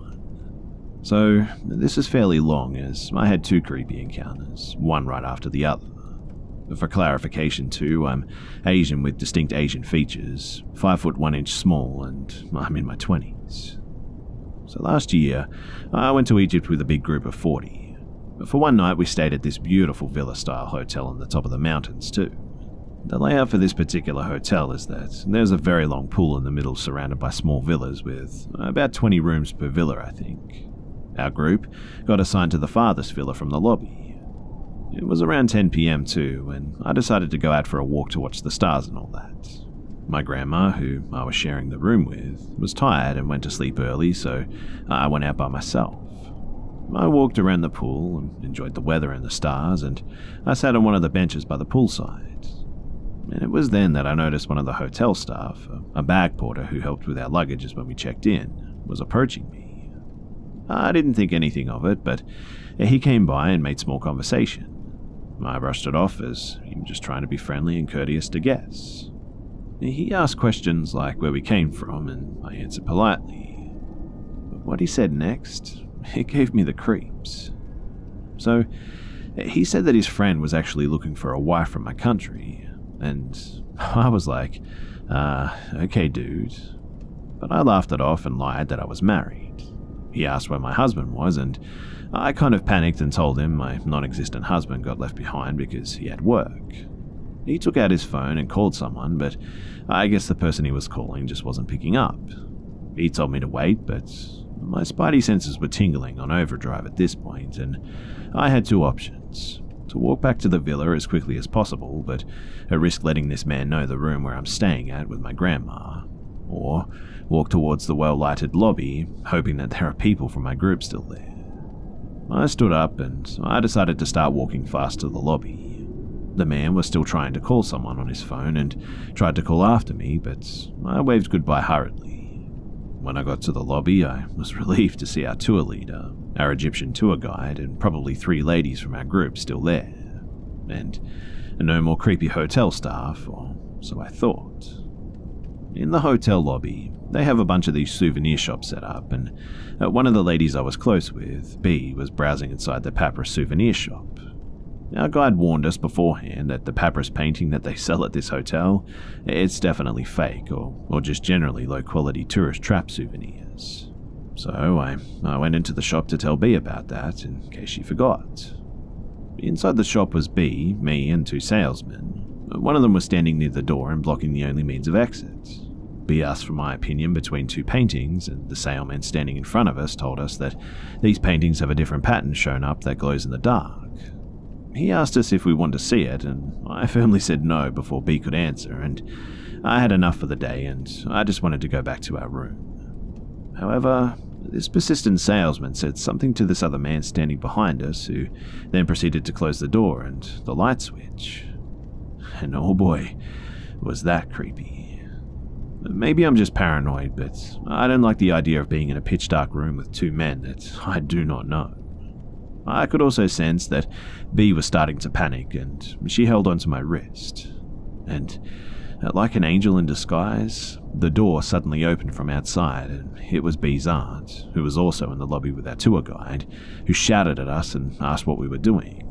She motioned for us to come quickly, and I swear that I do not know what would have happened if B's aunt didn't open the door at that time. She made a fuss over it, and the rest of the group walked back to the villa together with our tour leader. And on the way to the villa, B's aunt asked us if anything happened and if our phones and wallets were still with us and all that. We checked our belongings, and everything seemed fine, and uh, no one followed us back to the villa. And I was so happy that we were also checking out the next morning. Perhaps the creepiest thing, though, was that when the light flooded the room after my friend's aunt came in, those two men who were in the room they seemed to be approaching us slowly. Like, they were a fair distance away when the light was turned off, but uh, by the time that the door was opened, they were much closer to us. I don't know if the other guy with the phone had anything to do with this, but uh, the whole thing was just eerily coincidental and really creepy.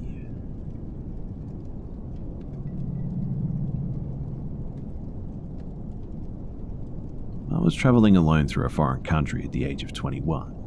I'm a young female, and people often mistake me for being in high school, and was told that it would be too dangerous to do this, but I did it anyways. My favourite part of travelling alone is just sitting in parks, and I buy a snack from the bakery, and I have a good book with me, and I find a nice shady hidden area to just enjoy for hours. On this day, I was at the Central Park in the centre of the city, and it was a gorgeous day, and the park was covered in bright flower bushes, and it made it easy to just find a place where not many people could see me. About an hour in, I saw two men whispering out of the corner of my eye, and uh, they kept glancing towards me and talking in hushed tones. After about ten minutes, they approached me too. One of the men took out a wallet type thing and opened it very quickly to show a police badge and uh, some sort of uh, identity card, but I didn't have time to see if the man's face matched it. He told me that they were policemen, which was really strange because they were wearing jeans and t shirts like the rest of the people around me. They told me that they were doing a check of the citizens and needed to see my passport to prove that I was in this country legally. How did they know that I wasn't from there? Anyway, I didn't want to give them my passport, although I had it, so I gave them a copy of my passport. But they took the copy and walked off to talk in hushed tones again while I started to get worried. They came back and, in a really stern tone, asked me super personal questions. They also asked me if I was here alone, and I lied, and I told them that my boyfriend was waiting for me at the bus station. They asked me how long I was going to stay in the country for, and at what time I was supposed to meet my boyfriend. And after I had answered all of them, they told me the copy of the passport just wasn't going to be enough. They said that I had to go with them into their car to the police station. Now, this country was a Spanish speaking country, and although I know Spanish, I, I still find it hard to navigate at times. I started to tell them that I didn't understand over and over again, and they got louder, and I stood up and started to walk towards the center of the park, and at this point, they were following me and yelling at me. They were telling me that I was about to be arrested, and they were telling me that I was going to be sent to jail, and I'm almost to the center at this point, and I keep repeating no, but louder and louder, and I can see an uninformed policeman in the distance, and I begin to cry, and I mean a big, ugly public cry, and the men, they're silenced at this point, and they hand me my copy of my passport back, and then they bolt and disappear into the park.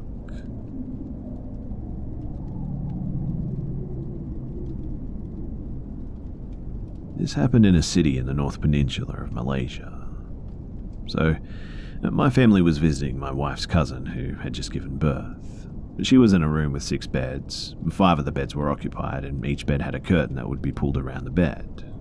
It was visiting hour, and so the curtains were mostly pulled back, and there were visitors at all of the beds. The cousin was in the middle bed, and the last bed was occupied, but the bed opposite that one was empty. So there were people visiting at the last bed, and one of them was a young girl of uh, perhaps, but not more than seven. As people were chatting, the girl suddenly cried out in anger, Leave my auntie alone. Everybody looked at her, and uh, her mother went beside her and asked, Who are you talking to? And she said him whilst pointing to a spot just above the empty bed. The mother asked, What's he doing? And she said, He's making faces at Artie. Her mother then said to her, That's okay, he won't do anything. Come, let's go get a drink. And then she led the girl out of the room, and I think that she was trying to calm the girl down or something.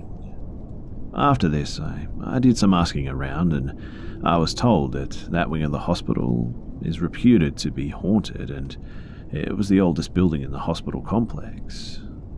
It was a really odd experience, to say the least, and the girl was completely normal from what I could tell. It was strange, and to this day, I, I still don't know what to think about it.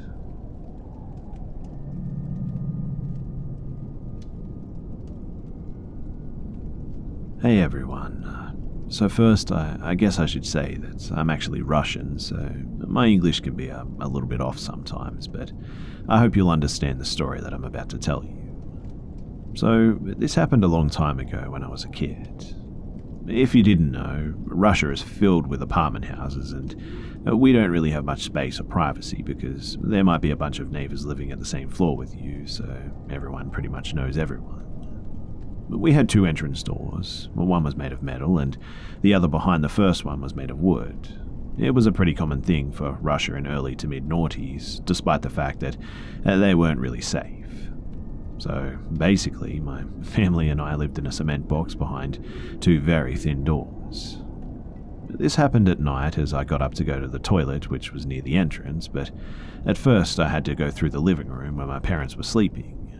And so you'll understand that that's why I wasn't allowed to turn on the lights in order to not wake up my mum and dad and my path to get there was obviously passing through complete darkness, which I was afraid of in my childhood. Anyway, when I got to the toilet door, I, I saw a silhouette of a man just standing at the end of the corridor near our entrance and exit. I just stood there completely frozen, looking at him, and I was sure that this was a person, whoever it was, and they were looking at me. He was pretty tall, but normal, about 190 centimeters or so, and he was wearing all black, and I couldn't see anything but his eyes just staring at me. He kept silent, and he wasn't moving or anything. I knew that this couldn't have been any of our neighbors for sure because I've never seen a person corresponding to his height. I took one step back, still looking at him, and then I just ran to the living room to wake up my dad. He didn't really believe me at first about the man standing in our hallway and doing literally nothing, but I insisted that he should go and make this person leave or call the police. My dad eventually got up and saw this man and said something like, What the hell are you doing in here? Went to him and then literally pushed him out of the apartment, although this man didn't really resist, which was really strange. And afterwards, Dad checked if the doors were locked and told me to go back to sleep. I still don't know what that was because this person just did not look like a regular burglar. At least because he wasn't doing anything. I mean, he just broke into someone's apartment and was just staring at their kid. I mean, sure, maybe if I didn't get up, he would have robbed our apartment and left. Who knows, but it was strange to say the least. Such situations are not really common in my country, especially when someone breaks into a flat full with people in the middle of the night. Something was just really off about this whole story, but I was completely awake and so was my dad for the rest of the night, and we don't really know what that person's intentions were. Either way, I'm just really glad that nothing bad happened.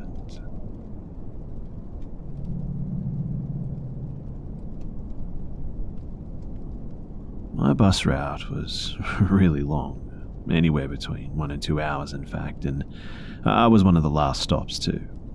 It was on a really rural route with lots of mountains, dirt roads, and hollowways. Being a rural area, most of these hollows were long, windy roads that families and relatives lived on, and normally just one or two families of kids to be dropped off at the same points. This meant that if a particular family of kids didn't ride the bus that day for whatever reason, that the bus driver could skip that hollow and save us anywhere from 5 to 30 minutes off the total route. And how could this ever be a bad thing, right? Well, uh, one particular hollow, about 5 miles long, had only two stops, two different families, but the second family lived at the furthest point. It was easily three to four miles past the first family's drop off point, down a crooked dead end single lane dirt road. It was always the worst part of the route each time. Now, on the days the second family did not ride the bus, if the bus driver skipped driving all the way to the second family's house, then it would save us uh, about 20 minutes on the round trip, not to mention the stress of driving in the claustrophobic dirt road in a, a huge hulking school bus. There were also times the family waited to pick up the kids in their own car at the first drop off to save the bus time and spare it the experience of driving up that road. So, of course, when they could, the driver would turn around at the first family's drop off point. However, this was not as smooth a turn as going the full way to the second family's house. This drop off point was a, a, small circular area with a couple of different driveways sprawling off, uh, only one of which was large enough for a school bus to fit, and definitely not big enough for a bus to do a 360 turn in one swoop. But with the help of one of the larger driveways, a three point turn could get us out of there pretty easy. At most, the, the bus needed 2 meters of this driveway space and hardly 30 seconds of its time. We do this happily for as long as I can remember, really, until either new residents moved in or the existing residents of the trailer in this driveway, about 20 meters away, just lost their minds one day. Suddenly, there's a large red farm gate at the extreme end of the driveway, but no possible way for the bus to turn around when closed, and for the first few months, whenever we would cut this route short by turning there, the driver would stop the bus during the three point turn, open the gate, barely reverse into the driveway, pull out, stop the bus again, close the gate back exactly as it was, and get back on the bus and carry on saving us all around 20 minutes of needless driving. But keep in mind, uh, this only happened when the second family either did not ride the bus or was being picked up at this point, aka not very often. Then, one day, we turn up and there's no a lock on the gate, which we're all a bit weirded out by, I must admit. So we drive the 20 minutes and we carry on. Still, each time we have the chance to turn, the driver would check if it were unlocked, and I don't know if it was ever requested to leave it unlocked, but I know from the driver's reactions that they wanted it to be that way. So, if it did happen to be unlocked, we would take the shortcut and the driver would put the gate back as it was. To my knowledge, no one ever complained about this, too. But then comes the day of the trap. We get to the first drop off. The second family was not riding the bus, nothing looks amiss except, hey, what do you know? The gate's open. I can remember the smile on the driver's face as she put the bus into reverse and begins the turn. At this point in the ride, it's just myself and three to four other kids, only one being a grade above me, and uh, I was barely six years old. Of course, I was chattering away with my friend and didn't notice at first that we'd stopped. Once I did start to look around, however, to my confusion, there was a, an assortment of ATVs, four wheelers side by sides, and actual cars that had pulled out of the driveway to surround the bus. And it was every single direction, too. To make it even more confusing and, thinking back, horrific, but they all had an assortment of firearms now, I'm six and I grew up around guns. I wasn't scared by what I saw, but I also didn't realize I was being held hostage at gunpoint. All I remember is the feeling of profound confusion of not being able to work out A, why we're sitting here, B, what are these people doing, and C, why are the other kids crying? Maybe I was blissfully ignorant, but the driver told us to just play on the floor and not look out the windows. So, Me being me, I propped my jacket up over the window in my seat and told everyone that we could play under my row, and I ended up having a great, albeit slightly boring, time just waiting. It went on for what felt like hours, and I never looked out the window during it, but I'm sure it was only uh, maybe an hour at most, give or take, because our parents slowly started showing up looking for us. I remember two kids being allowed off before me, and then, as I was growing truly bored, my grandfather showed up to save me too. He came onto the bus, spoke to the driver, and held my hand as we walked back to his truck. And no one else was saying a word except my cheery goodbye to the driver. I remember all of the gang just staring her down as I walked away, and she never moved from her seat the entire ordeal. I don't know what happened after I left, and it was only later that I grew up to realize the severity of the event. I know for sure that my grandfather and parents called the school system, but I never heard of any punishment or follow up. The gate was never left open again, and we still had to drive that route each day, always driving it all the way through, except for those blissful days both families of kids just didn't ride and we could skip it altogether. The same bus driver stayed on the route, and she was honestly an angel to remain so calm and collected throughout that whole ordeal.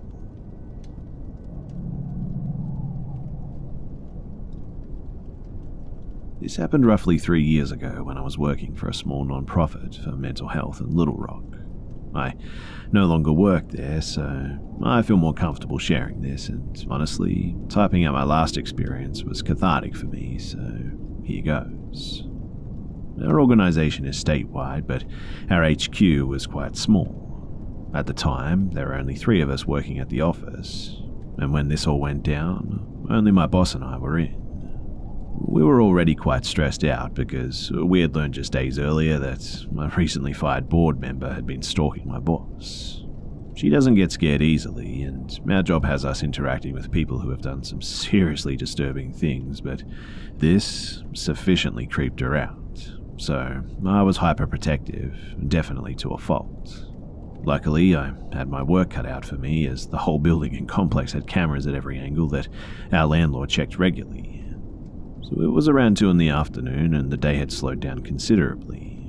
I took the opportunity to clean my office since I could never keep it organized for long, and once I'd filled up two massive trash bags worth of junk and old papers, I decided to step outside and make the short walk to take the trash out. Now, when I say our organization is tiny, I'm talking we take out our own trash and clean our entire building up tiny. I knew what my boss's stalker looked like and was fully prepared to deal with him, should he be on the premises or anything like that. And our front door was kept locked, and I looked it back up as soon as I stepped outside. And my head was on a swivel the whole time. If I could have turned my head like an owl, I undoubtedly would have. I knew that I could mop the floor with this guy should he try anything, but I wasn't exactly going out searching for him or anything. But just kind of looking out for my boss was my goal. On the way back to the office, I was happy to see only employees from the other offices outside. I turned the left corner towards my office door, unlocked it, and stepped inside. But before I could close the door, someone was directly behind me and said with impatience, I'm here to get Michael. Where's Michael? He said it so fast that I didn't immediately register what he'd just said. I'd actually jumped out of shock too. I mean, how the hell did this guy get behind me so quickly? All the cars in the parking lot were cars that I recognized too, and my spidey senses, they were definitely flaring up. I'm six feet tall, and this man was right up there with my height. He looked super thin too, which is saying a lot coming from me, but he looked intensely frustrated. It was the beginning of fall, and he had a big jacket on and a do rag, clothing one rarely wears when it's still 80 degrees outside. He gave no regards to personal space, so I had to back away from him a bit, causing him to come even further inside. Noticing this, I, I stood my ground at this point. I told him that nobody named Michael works here and that we're not a service provider. And that was clearly the last thing he wanted to hear because that only pissed him off. He began raising his voice and shouting, I know one of y'all has Michael. but Where the hell is Michael? and all I could say to him was that I have no idea who Michael is. I asked him if he was lost, how old he was, and what he looked like, and none of those questions got answered. He then said to me in just an absolutely enraged way that I was just over there, pointing to another facility just a stone's throw to the east, and they told me the same stuff. I know he's here, you're all telling me bullcrap. My efforts to calm him down were ineffective at best, and I started getting frustrated myself, but that feeling quickly turned to concern when I saw the grip of a handgun sticking out of his jacket pocket. Everything then clicked. I finally understood what I was 90% sure that I was dealing with at that moment. It also hit me that I was trapped. He was standing in the way of our exit, and my boss could have exited through the back door, but she was in her office and didn't know what was going on. I wasn't about to make a mad dash to the exit and leave her, so my only option was to fight back, if it came down to that. I took a few steps towards the guy, ready to crash into his hand if he makes any motion to draw. I disarmed plenty of rubber and unloaded guns, but the fear of permanent damage and or death puts a lot into perspective, that's for sure. Finally, though, my boss stepped out of her office to see what was going on. I honestly don't remember what the man was shouting after I saw the gun, but he had not calmed down. I was just too laser focused on his right arm at this point. My boss was met with the same responses and roadblocks that I'd gotten regarding this Michael fellow, and despite all the stuff that had been going on with her former board member stalking her and whether or not she'd seen the gun too, uh, my boss made the ballsiest decision that I think I've ever seen. To say I'm thankful that we were in sync to make this work is putting it mildly too. Displaying complete control and confidence, my boss told the man, I think you may be looking for so and so facility just down here to the left. I'm so sorry that you were given bad directions, but it's in this complex. Let me walk you over there right now. And she walked him out the door and to the said facility. And as soon as they were out the door, I knew what to do. I called the facility and warned them that my boss, whom they knew well, was walking a man over to their facility and that he was armed and looking for someone named Michael. Given that this facility serves a lot of patients under Act 911, there's almost always at least one police officer over there too. When I saw the gun in his jacket, I came to the conclusion that this was an attempted hit on Michael, whoever that was. Gang activity has plagued Little Rock since the 90s, and at one point, it had the most murders per capita in all of the US. During the early 2000s, it calmed down considerably, but within the past five or so years, gang violence has resurged in the city. Furthermore, I've had prior experiences in Kansas with gang violence when a hitman came to our middle school to kill the son of a rival gang member, in broad daylight, mind you. Luckily, he never made it inside, though. That means that in both instances, though, this was meant to be a message to the other gang. He wasn't hiding his face, he had no backup, and his face was on all the cameras. My guess is that he'd already made plans to go to prison and thrive there, but I don't know enough about gang life to say for certain what his follow up was going to be. But what had me terrified at that moment was that my boss was right in the middle of the danger now. I panicked after calling the facility and stayed in the office, and I'm kind of ashamed that I did that, to be honest. My boss returned after a certain amount of time, but I actually don't remember the duration. She didn't tell me anything new, only that she'd let him there and thanked me for calling them. She hadn't seen the gun in his jacket, but she too knew that something was just not right about him when she got a good look at him in her office. She said that she went to mother hen mode by leading the danger away from her coop, and he clearly had been given bad directions, which was mildly amusing. To be fair, though, doing a Google Maps search of that road shows a, a, misleading display of everything on that small street. To the left of our office, there are roughly 40 yards of trees that separate our complex from the facility that he pointed to. So I, I guess he was just coming out of the tree line as I was unlocking the door because I didn't see him coming. My boss didn't tell me about any new information the next day, and I checked the police beat for a few weeks to see if anything was written about it. Thankfully, I, I didn't see anything in the police beat about it, which means that there was no one harmed. Well, that we know of anyway.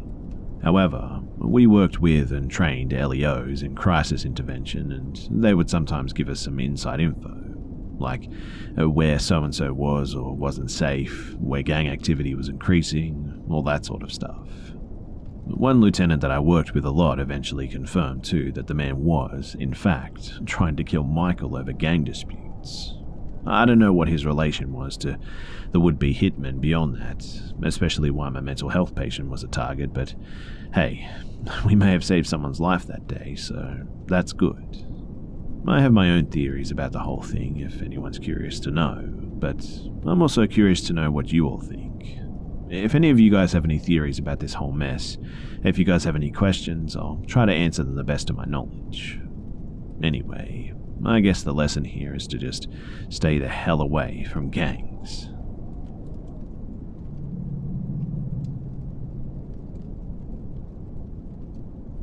So, my parents, they were very lenient about me going outside to play all the time.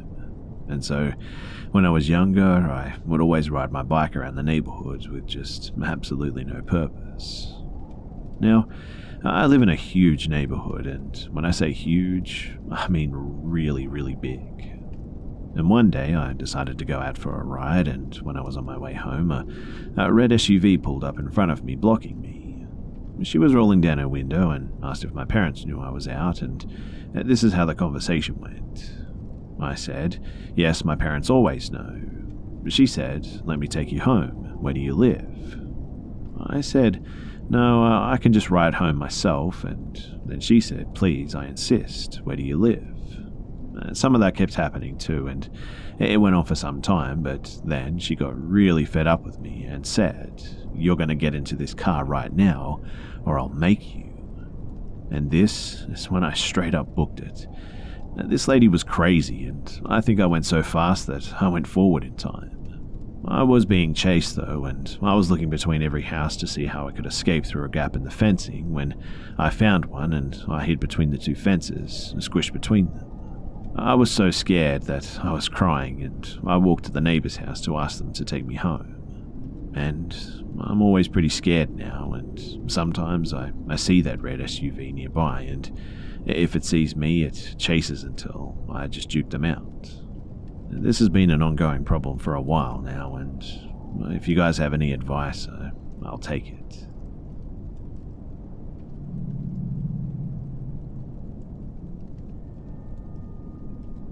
So, I want to share some stories with you guys.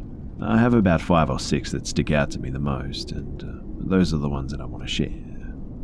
So, some years back, I was watching TV with my mum in her room and my cousin.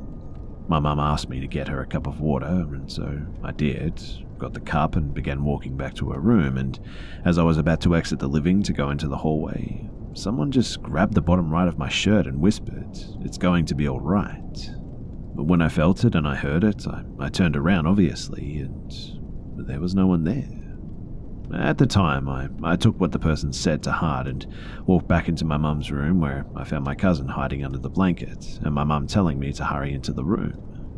I told her what had happened, and she said that as I went through the living room toward the kitchen, that she could see what looked like someone following behind me. Now, where I live, there is a park across the street from my house, and we were celebrating my younger brother's birthday at the park at some stage, and I really needed to go to the restroom and didn't like how gross the ones in the park were, so I asked my mum for the keys to the house so that I could use ours. I go to the house and lock the door behind me, and I sat on the toilet ready to do my business when I heard what sounded like hooves clopping in the living room, like a horse or something prancing around or something. I sat there confused until it stopped in front of the restroom and I said, Who is it? And then I heard two voices at the exact moment one of a girl and the other really deep, but they sounded like they came from the same person almost. But the voices shouted, Get out at me, and so I put my pants back up and opened the door and looked toward the front entrance door, and I saw it fling open the door and then slam shut. At this point, I began crying and just sat outside for a few minutes because I just had no idea what happened. I wanted to know so bad who or what it was that I remember saying as a kid that if you show me who you are, I'll let you play on my Super Nintendo. Now, I also suffer through sleep paralysis a lot, but mainly when I sleep on my back. My sleep paralysis consists of me just basically still having my eyes closed and unable to move. I don't see figures or anything like that.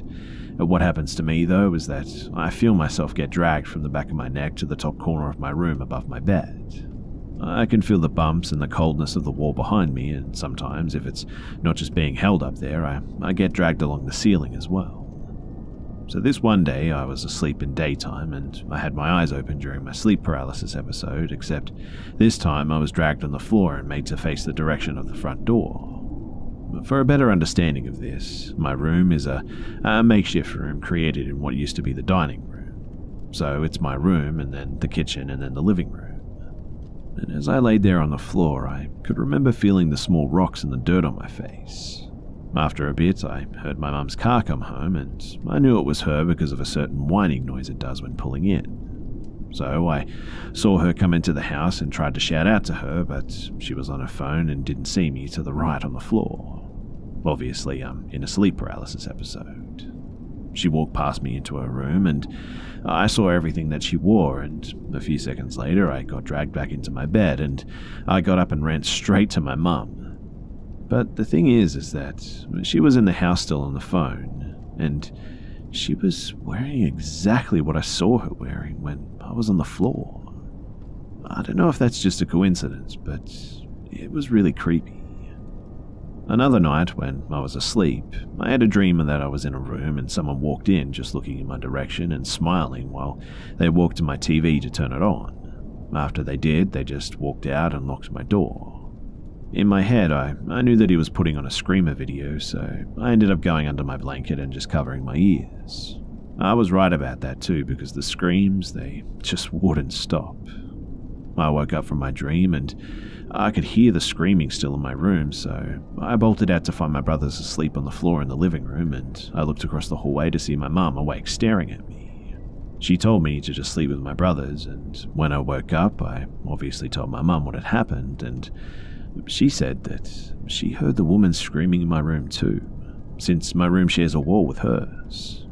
I thought at the time that I was like residual dreaming or something, and the scream was still in my head while I was fully waking up. But my mum said that she heard the scream too. She said at the time that she told me to sleep in the living room because, well, if a demon wanted me, it could take her instead. Also, uh, I moved to NorCal three years ago, away from all my family members. There was one cousin I used to be very close to when we were kids as well. I was four years older than her, but we hung out together all the time during the gatherings until I stopped going around the age of 16. So, fast forward 11 years of us not talking anymore or even seeing each other since I don't go to family gatherings anymore, and I had a dream some cousins and I were driving in a car near my grandma's house in Mex. We stopped the block before reaching her house, and she gets out. I'm sitting there wondering why she got out of the car so soon, and I ask my cousin who's driving and he says that she's not coming with us anymore.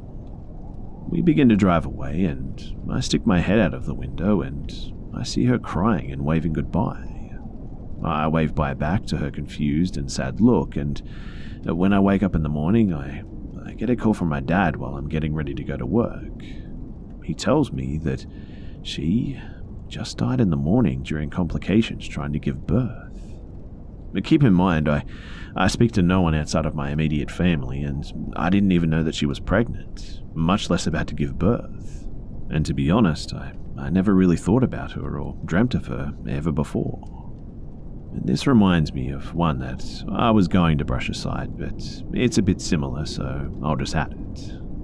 So, I was hanging out at a friend's house with three other people, around six, I got this terrible feeling that something happened to my dad or someone's dad, and I told them to just do me a favor and call their dads to make sure everything was okay, and I did the same. Nothing was wrong, so I felt a little better and a little embarrassed, but I just couldn't really enjoy the night because I just felt wrong inside. When I got home and go on Discord to talk to a friend of mine, he ended up telling me that his dad got into a really bad car accident and died.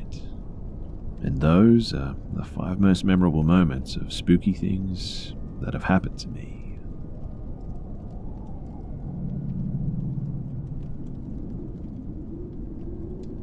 When I was a kid, my brother and I shared a bedroom. And let me set the scene for you too. So there were two beds, one on each side of the wall, a window between us at the far side of the room, and a closet, which stays shut at night, to the left as you walk into the bedroom door. There's a dresser on each side of the walls as well, and at the foot and between our beds, we had an oscillating fan for the summer heat. Now, one night, we were sleeping, and I awoke tossing and turning, and I just kept hearing a, a mechanical clicking sound. So I I slowly and groggily turned my head towards the noise and saw our fan surrounded by a, a really large shadow, larger than our parents, and it was holding down the oscillating portion of the fan. I stared for what felt like forever and slowly turned to my brother, who, to my surprise, was staring directly at me and gave me the smallest headshake of no. He's the older brother, so I listened and I put my head back down and angled my view to keep an eye on the fan. The clicking continued throughout this time, and after a few minutes, the clicking stopped, but the shadow stayed, and it then moved very slowly in front of the fan and just remained at the foot of our beds the whole night. The crazier thing is, too, is that uh, we could still feel the fan as it was standing in front of us. Our eyes darted back and forth between the shadow and each other for confirmation, and we just stayed awake the rest of the night, not wanting to close our eyes. At some point, the sun came up and the shadow just disappeared. And we found ourselves with a story that we couldn't explain to anyone. And an opened closet door. It's been 20 plus years and we still talk about that night.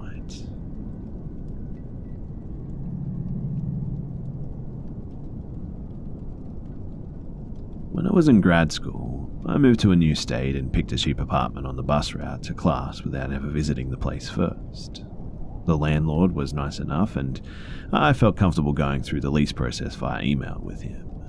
Once I got there, it seemed normal enough, if a bit dated, and it was in a quiet neighborhood, which was nice since I'd moved from rural Midwest to a quarter of a million population city.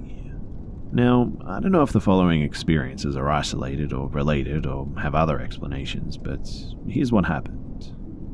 So from the get-go, I, I felt the need to sleep with the light on. I've never been one to need a light at night except maybe after a particularly scary movie, but for the entire year I lived there, that's exactly what I did. I felt particularly creeped out by the closet near the front door, and ideally, you'd store coats and a vacuum in there, but I just didn't use it, and I can't really explain why. The way it was situated relative to the rest of the room, it, it made the front door just really dark. And when I sat in the living room, I, I often felt like I was being watched from that area or something. I tried to avoid looking over there, but it always drew my eyes, and this was, in fact, the only way to leave my second floor apartment, so I always rushed out quickly without looking and zoomed past the closet on my way in, again without looking. Now, I've dealt with many burnt out bulbs in my day, but I've never lived somewhere where the bulbs actually shatter until I live there. It happened to a few in my bedroom. The second time it happened, I had the landlord check the wiring, and eh, he had that replaced just to be on the safe side, but it persisted, so I just used lamps in there instead. One night I, I woke up and I immediately shut my eyes tight again because it honestly felt like something was weighing down the bed beside me. Like it was actually sagging, but there wasn't anything physical there, and I had this thought that if I just didn't look, that it might leave. I kept my eyes shut for several moments and then felt the weight just leave the bed. Another night, I experienced what is probably best described as sleep paralysis. Well, kind of anyway. So I woke up completely terrified with my blanket over my head. This happened a lot here. I think even subconsciously I was hiding from this thing in my apartment. And I actually could move, which is why I don't think sleep paralysis is quite what it was, but I was too scared to move, so I just sat there. I slowed down my breathing and then I, I heard a second something breathing, slightly out of sync with my own. I held my breath to see if my tired brain was just playing tricks, but the breathing continued. I don't know how long I laid there with my blanket over my head, just listening to this other breathing, but it did eventually stop. There's other instances too like this, but those are the ones that stand out in my mind the most.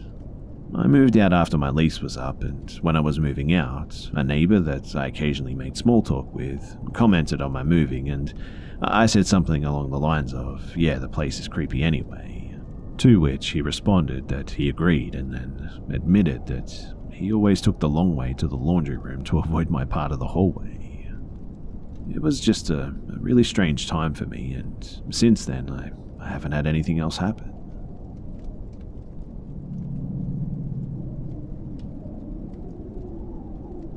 In a life just full of weird encounters, I, I feel like this is the creepiest one that I've ever experienced.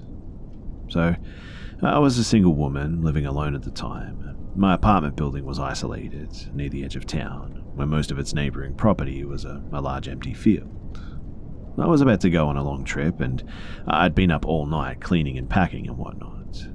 A little before 6am, I decided to get some laundry done, and it's critical to the story that you understand the structure of the building, so I apologize if this part's a little dull.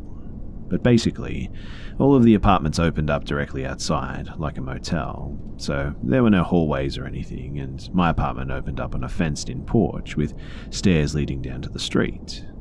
The fence continued around the yard, and there was a drop off of about um, six feet on the other side, meaning that the only way to get to and from my apartment was to go down those narrow cement stairs. The stairs opened up to an alley which you had to take in order to get to our building's laundry room. A single washer and dryer were available in a locked tiny space right behind the apartment. Now, I didn't want to keep going up and down the steps, so I wrestled a huge bag of laundry and made my way to the alley. And even though it was technically the morning, it was still pretty pitch black outside. There was a safety light attached to the building, but beyond that, the path was lit only by the moon and the stars. It was so quiet outside, too, that I scared myself by accidentally kicking a rock. In other words, there wasn't another soul around. So it took me maybe uh, two minutes max to get the laundry into the washer, pour the soap, and deposit the coins. I locked the door behind me and headed back towards the alley again when I turned the corner and I froze. At the end of the alleyway, right in front of the only opening to the stairs, there was a, a woman standing with her back to me. Her body was stiff and unnatural, like a, a wind up toy. Her feet were about a foot apart, and her arms were slightly lifted, straight out at her sides. Her head was up, but it was kind of jutting forward as if her neck were extra long or something. She didn't move or act like she heard my footsteps at all, and I immediately held my breath, going still myself. I waited for the woman to move, but she stayed like that, arms splayed, head crooked. She was completely blocking the way, and I'd have to slide past her to get to the stairs. Though she wasn't doing anything other than just standing in a creepy way, I, I had no idea why she was there or what she was capable of, so obviously I, I wanted to avoid confronting her. Unfortunately, though, I I didn't have a lot of options. My cell phone was still inside because I hadn't expected the run to the laundry room to take more than a minute. I had my car keys, but my car was parked in front of the building, meaning that I'd have to walk past her to get to it. And so I I just sat there for what felt like ages, heart pounding, mind racing.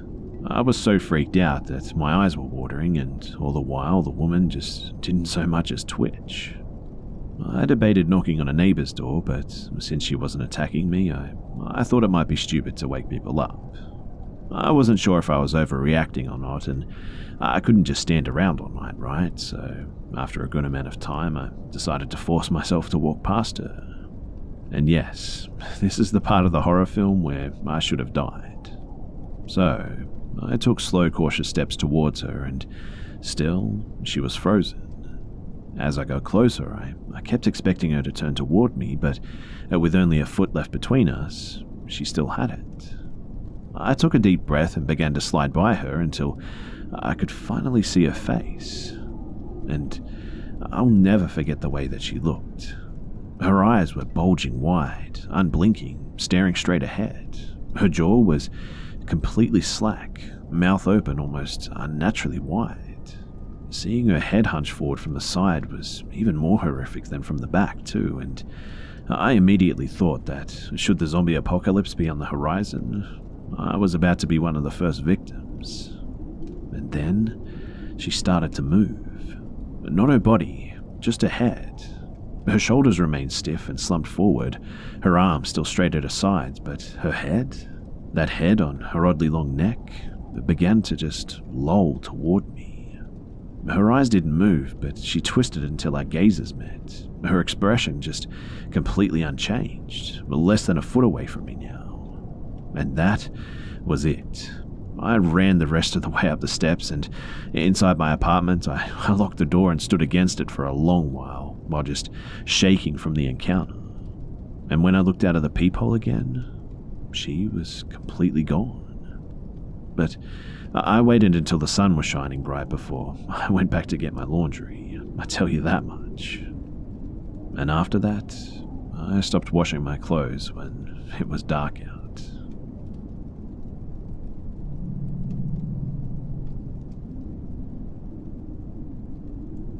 This is a story about a, a guy who stalks me. So basically, uh, this happened about three years ago, although this guy still tries to contact me sometimes, and his name is Dean. Now, my dad owns a golf course, and we're constantly hiring new people.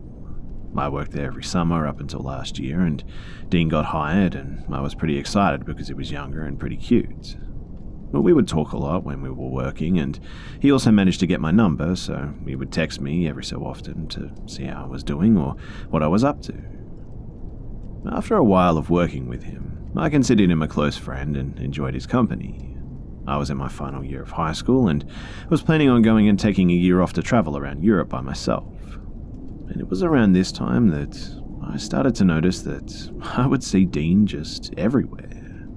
He would be at the mall or the grocery store and basically everywhere that I was.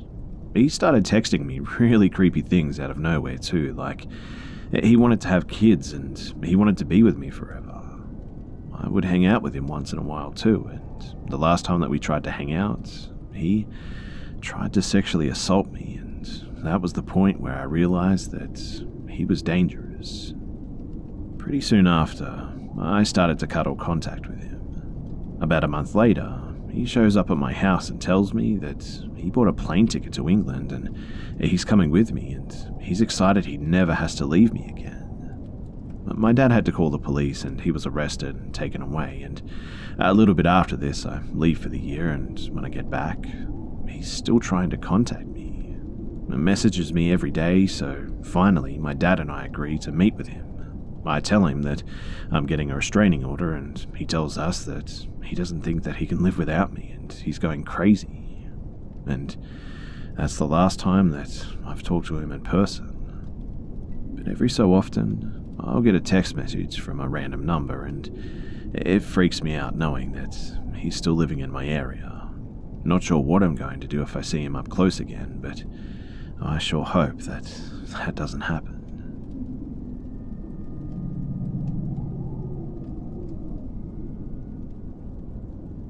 So back when I was still in high school, my dad left my mum and I went to live with this friend about an hour and a half from us. I was 15 when this happened, and I'm now 24, and neither of my parents will tell me why my dad left. But anyway, after my dad left, my mum lost her job because he took the only car, and we ended up living in a motel a couple of towns over from town that we used to live in. Even though we lived in a different town, I, I still went to a school in my old town, and they would pick me up in the bus or van and bring me to and from school. A few months after living in the motel, I made this friend in school named Randy. He was really cute and we got along really well. Near the middle of the school year, my dad actually had a warrant out for his arrest because he hadn't paid child support for my other siblings in a long time because he just couldn't afford it or something like that. So obviously, he ended up getting arrested and he spent 90 days in jail about a mile down the road from the motel my mum and I were in. And uh, when he got out, he came and stayed with us again. Near the end of the school year, I was at one of my friend's houses when I got a call from my dad telling me that we got an apartment in the town that I go to school in. I was actually really excited and happy about this, and a few months go by and things are going smoothly. And this is when Randy and I decided that we wanted to hang outside of school for the first time. I didn't really hang out with anyone outside of school pretty much ever because if I missed the bus that would take me from school to the motel, then I'd be stuck with no way home and nowhere to stay.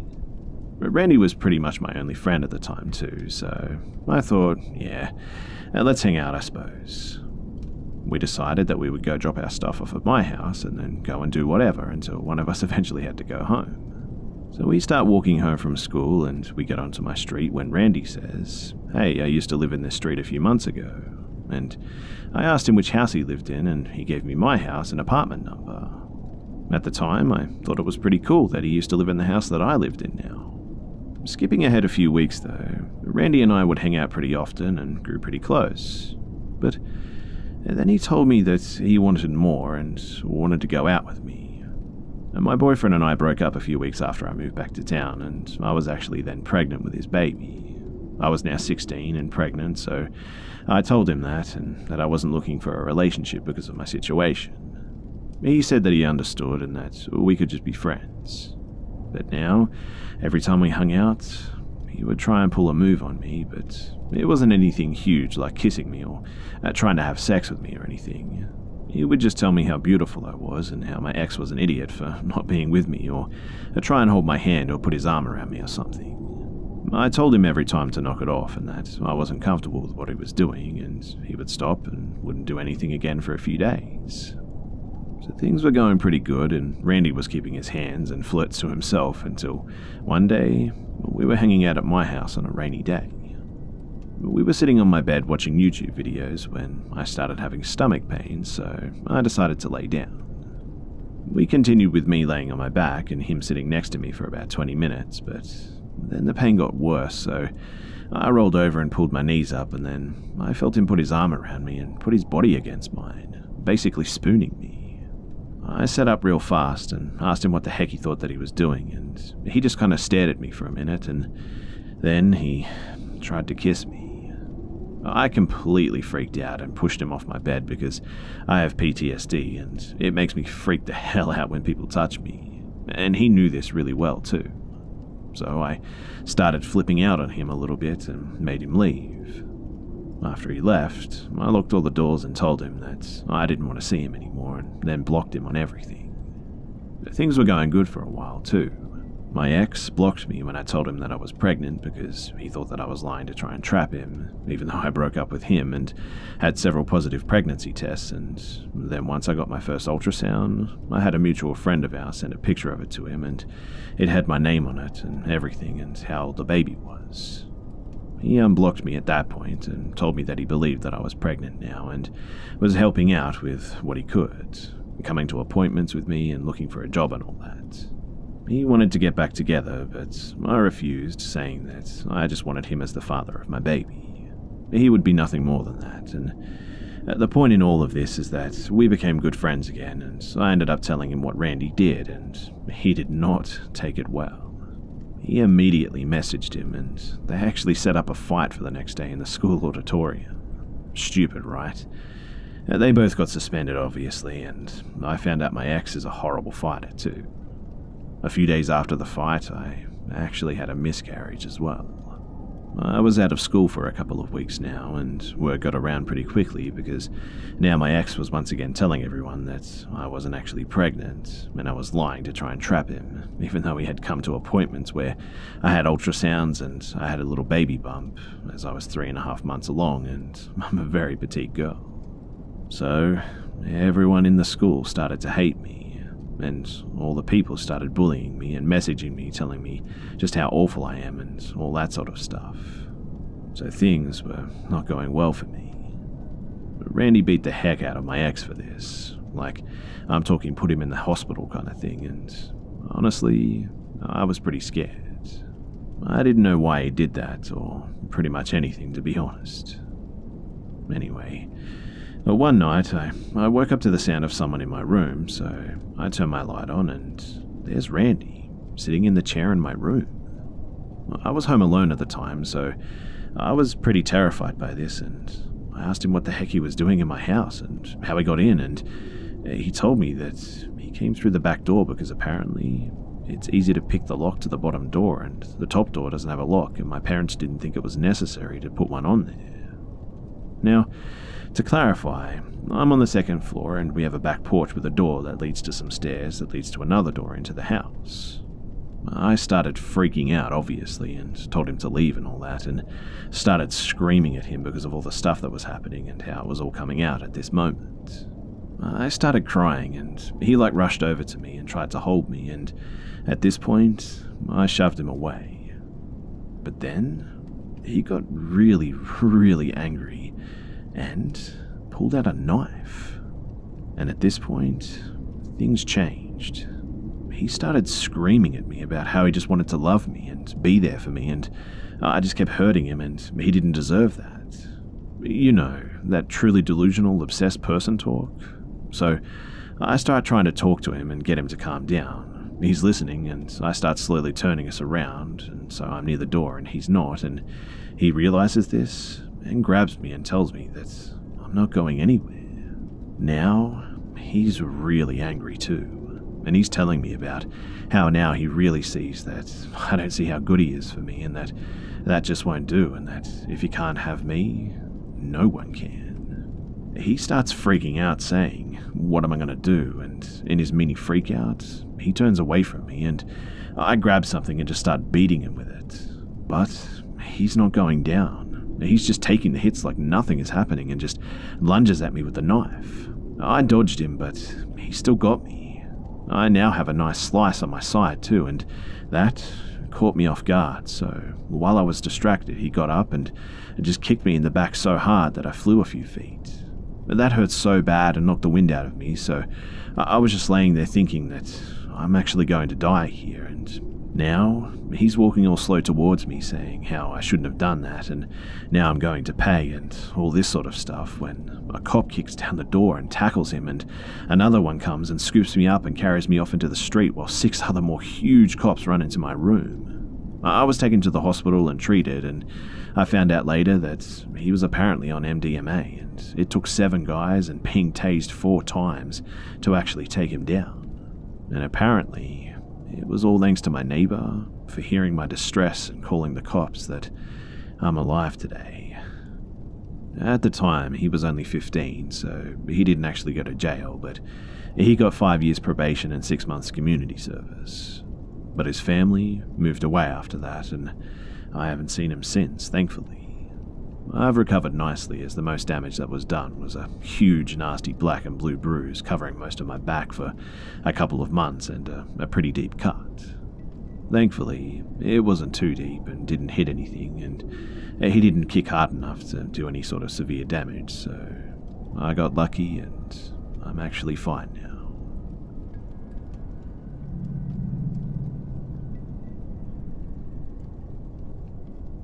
So I live in a major metropolitan area of DC and try to practice keen situational awareness and stay aware of any present danger. Well, uh, that's probably putting it lightly, though. To be honest, I, I've seen some stuff and uh, I'm pretty paranoid these days. I'm also a petite woman who has looked 16 for the past decade and therefore am a target for creeps.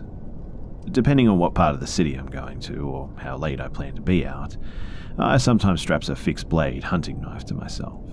I conceal it under my pants or boot in the winter, and in the summer I either strap it to my arm or around my waist, neither of which are really comfortable, but, you know, safety and all that. So, it was raining that night, and I was wearing an oversized retro windbreaker that I had just found at the thrift store, and the knife was in my purse. The humid DC summer made my skin sticky, and the thought of having a sheath around my arm was very unappealing. I got onto the metro towards home, but the conductor announced that the train was going to go out of service on the stop before mine. One of my buddies lives two blocks away from that metro stop, so I just texted him seeing if he wanted me to stop by and smoke him up. He responded saying that he would be on his balcony and I could stop by and yell for him to let me into the building whenever. Now, on the train, I, I usually listen to music, read, crochet, or stare out the window with regular intervals of casing the train for any sketchy stuff.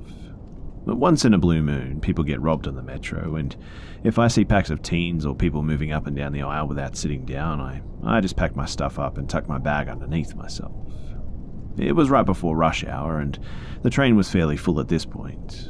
I didn't sense anything unusual until I noticed a guy who looked sort of out of place sitting across the aisle facing me. DC has people from all over, and people rarely, if ever, stand out to me as looking suspicious or unusual. But something about this guy just triggered my spidey senses.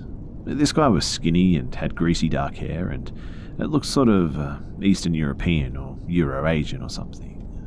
He was wearing a purple button down and tight pants and kept talking on the phone while checking another phone in his lap. I speak Russian and know some Spanish and can get the gist of similar languages and could tell that he was speaking Italian and describing a small female with brown hair and a jacket.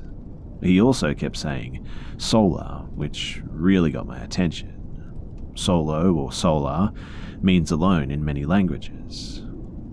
I got pretty anxious at that point, and my heart started pounding harder every time he looked over at me.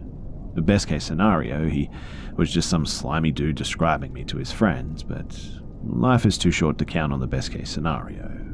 So, I put my bag on my lap and discreetly strapped the knife to my arm underneath the baggy sleeve of my jacket, just in case. I texted my friend to see if he could meet me at this metro station so that I wouldn't have to walk by myself. However, the reception in the train was really bad, and I didn't notice that the text didn't go through. So, the train arrived at my stop, and I tried to wait until the very last second to get off so that he couldn't follow me. The doors closed a second or two right behind me, but he was a skinny dude and managed to slip through them. I started picking up the pace and tried to get lost in the crowd on the way to pay my fare. Once I paid, I started booking it to my friend's place without running so fast as to make myself more visible. I turned around and saw that no one was behind me, but wouldn't relax until I was at my friend's apartment.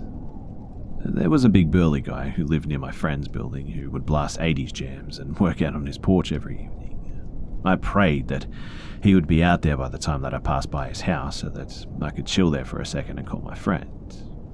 I walked by his house, but Unfortunately, he wasn't there. And I heard footsteps behind me and turned around. As I feared, it was a purple shirt guy gaining on me. I started running and, in my panic, didn't notice that the car was stopped in the middle of the road a few feet ahead of me with the side door wide open. The guy caught up to me and lunged with his hands around my waist, and he was surprisingly strong for such a thin guy. In one of what was probably the most crucial decisions of my life, I pulled the knife out and just stabbed wherever I could, flailing to get free. I heard fabric rip, the serrated knife had gotten caught on his shirt, and I used the leverage of him gripping me to actually aim this time and got the knife under his button down and just pushed it in as hard as I could. I had never been more aware of just how fundamentally defenseless I was in that moment. I couldn't even scream or make a sound at all, and it was like I'd gone completely mute or had been holding my breath or something. I have no idea how deeply I cut him or how injured he was, and honestly, I don't really care. He dropped me for a second, and I took that moment and I ran across the street, almost getting hit by a passing car, up to my friend's apartment, and I noticed an empty cop car sitting next to my friend's building and got incredibly paranoid.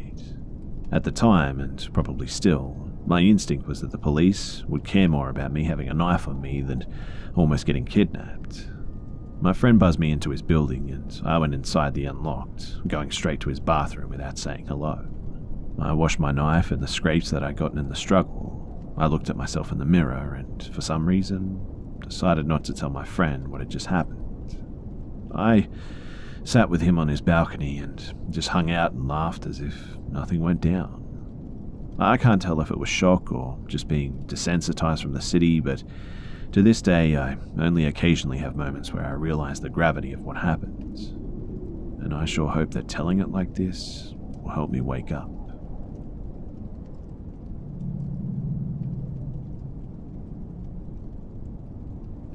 About six years ago, over the summer of my junior year, going into my senior year of high school, I experienced something that I just can't quite shake off, even to this day. My friend's parents were going out of town for the weekend, so myself and three others, including my friend Matt, planned to sleep over so that we could all hang out, be as loud as we want, and all that good stuff. We slept over at my friend Matt's house. His house was located on the east side of town where all that small wooded area was located. I mentioned this area in a previous story about the scream that I heard in my house, and, and that night we all mentioned how we would like to sleep on the trampoline since it was warm out and none of us had done it before.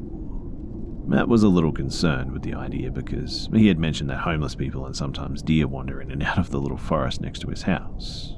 But there was no fence separating us from the woods, so pretty much anything could go in and out of the yard, into the forest, and vice versa. I told him that we would be fine though, and that there was nothing to worry about.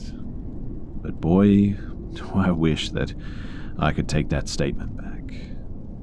So we started setting up our spots on our tramp, getting cozy and just hanging out, looking at our phones and whatnot, and about an hour into this, I, I started to hear twigs snapping and leaves crunching. Matt was the only one who wasn't on the tramp at this point, but sitting on a small river donut on the deck next to the tramp, and he was sitting on it due to an injury that happened to him a few weeks prior to these events. I was looking at Matt while all of this was happening, and he was looking into the woods. He didn't really say anything, other than a quiet, I told you this was a bad idea. I kept listening for a few minutes, and then it stopped. My friends were all listening too, but they didn't seem concerned. It was really quiet too after it stopped. None of us said anything, and uh, we all looked back on our phones, and that's when I saw it. The second my eyes met my phone, I saw from my peripheral vision this huge, seven to eight foot tall thing just run out of the woods into the backyard and darted to the side of the house. All we saw was the silhouette of whatever it was. It was almost as if it was ghostly, and it was just extremely like slim and bipedal. But here's the kicker though. We saw it run, but we didn't hear it run. It made zero sound when it was moving, but it made the motion of someone running. But when we saw this, we all did the exact same thing. Uh, we all screamed and ran off the tramp. Matt was the first one inside, and to be honest, I was surprised that he was even able to walk, let alone run, because of his injury. We left some blankets and pillows outside because we were in such a hurry, but we didn't care. We just shut and locked the sliding door and all of the windows and the doors that we could find. We kept looking out some of the windows to see if we could see anything, but there was nothing. Because we were so startled too, we just stayed up until sunrise to finally go to sleep. I think about what happened on almost a daily basis to this day. Everyone I've told has a theory that it came from the mountains next to the forest or something. But for a little backstory, I I live in Magna, Utah. The mountains on the east side that separate us are said to house some sort of a, a secret military base where experimentation and other things are done on who knows who or what. Anyway, I'm not sure if I believe in all that sort of stuff, but that night, I'll never forget it.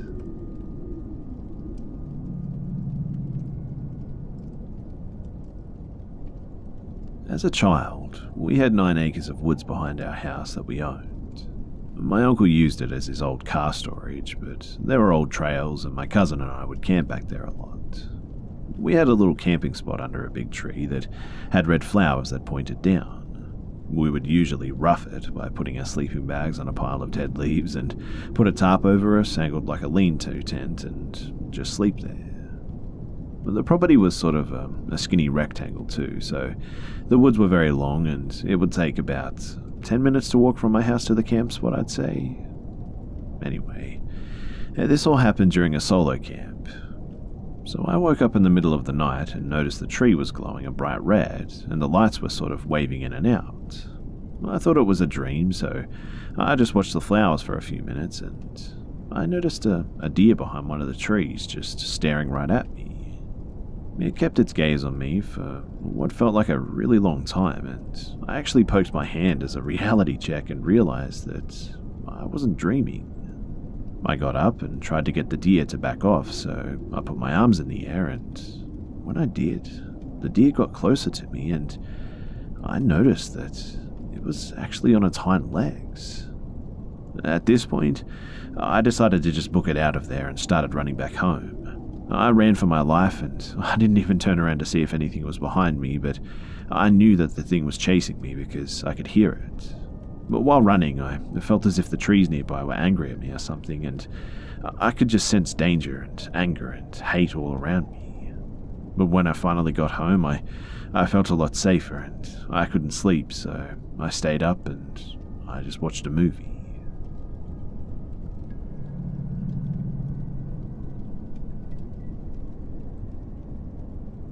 Hey guys, so uh, this post I'll be sharing two stories from totally separate instances, in fact. The first one I'll share happened to a, a friend of mine and I, and the second one happened to a family friend, and it was similar in many ways to what happened to me and my friend.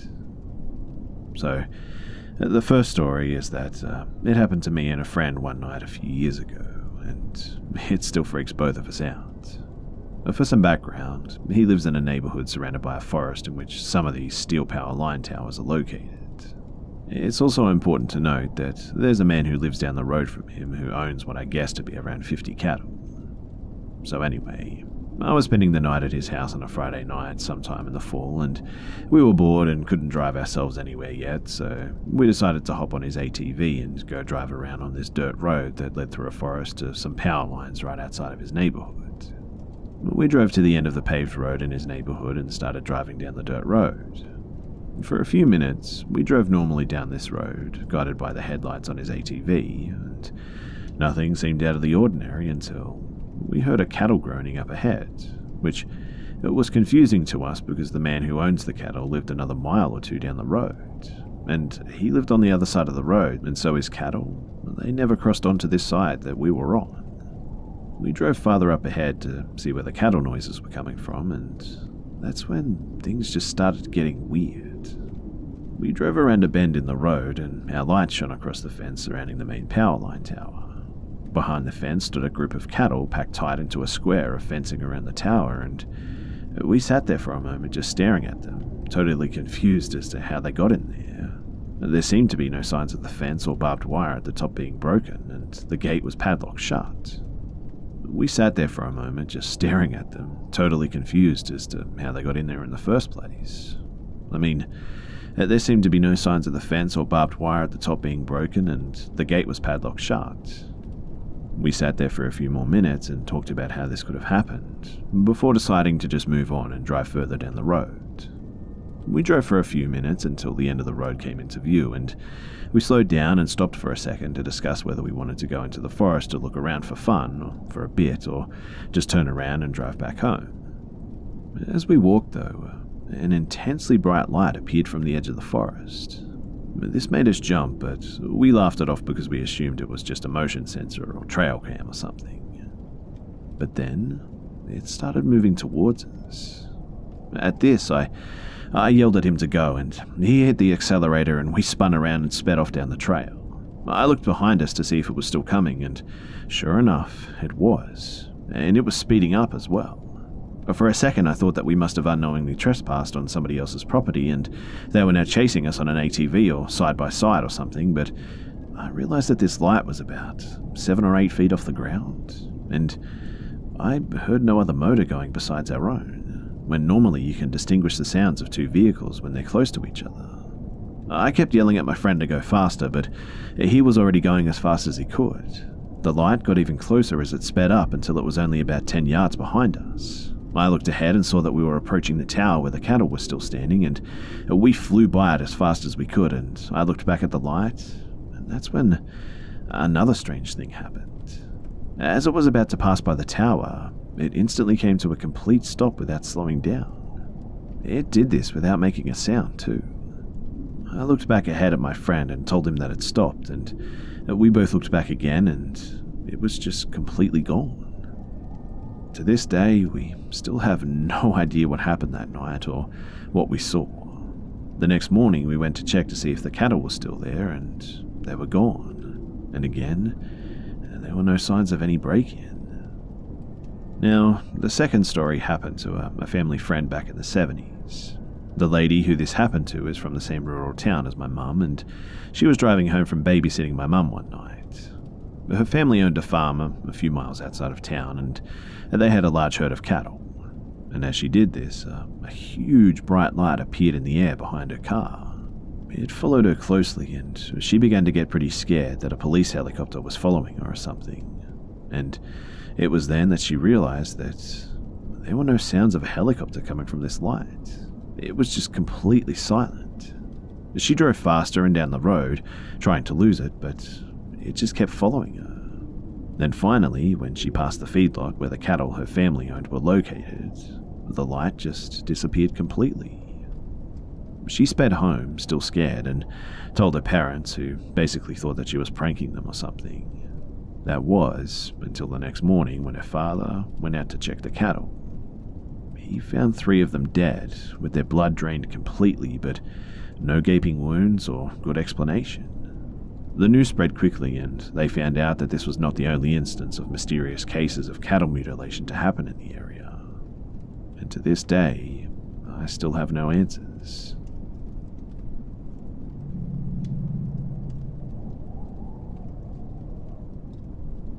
So when I was around 15, I'm now 22, I had a best friend of the same age, and his house happened to back onto a cane field.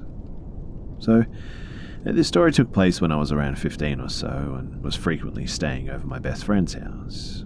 We had been sitting in his living room playing video games all day, and we were getting a little bored at this point, and remembered his mum telling us that we should go play outside every now and then. And so that's exactly what we decided to do just at 2:30 a.m. instead of the usual time of a 15-year-old going outside, right? Anyway, we were both hanging out over the back fence looking into the cane field, chatting about how the sugar cane would taste and so on, when I had a great idea to jump the fence and go walking through this thick and very dark field. My friend, obviously him being 15 and stupid, also agreed to this idea. So we leaped the fence and walked straight into the field. We were walking for no more than 15 minutes when I turn and find that my friend is just completely gone. I just shrugged it off to him playing a prank or something, and I called out his name a few times, but there wasn't any answer. And at that moment, I started getting a little bit creeped out, it being dark and oddly silent and all that. Then, just as I was getting ready to head back to the fence, I I see this extremely tall man standing in one of the rows looking at me. Now, when I say extremely tall, I mean like over 7 foot easily. I myself at 15 was just a little over 6 foot, and this man towered over me with ease. We were both just standing there. I didn't even know if he was looking at me, and then out of nowhere, the man just broke out into a sprint, coming straight for me, and every step that he took was like three of mine. I didn't know what to do, and I just froze, and I had never in my life been so scared. So I just turned my back and got on my knees and covered the back of my neck. Who knows why I did this, or even why I was thinking that it would help me, but that's what I did. After what felt like forever, but was probably only a few seconds, I, I hear my friend's voice calling out, saying, Oi, bro, did you see that huge dude?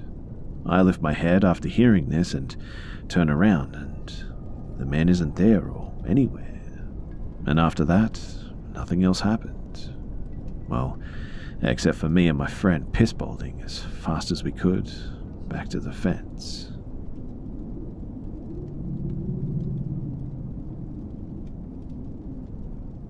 So I'm a 32 year old female, and this is something that happened to me only two nights ago.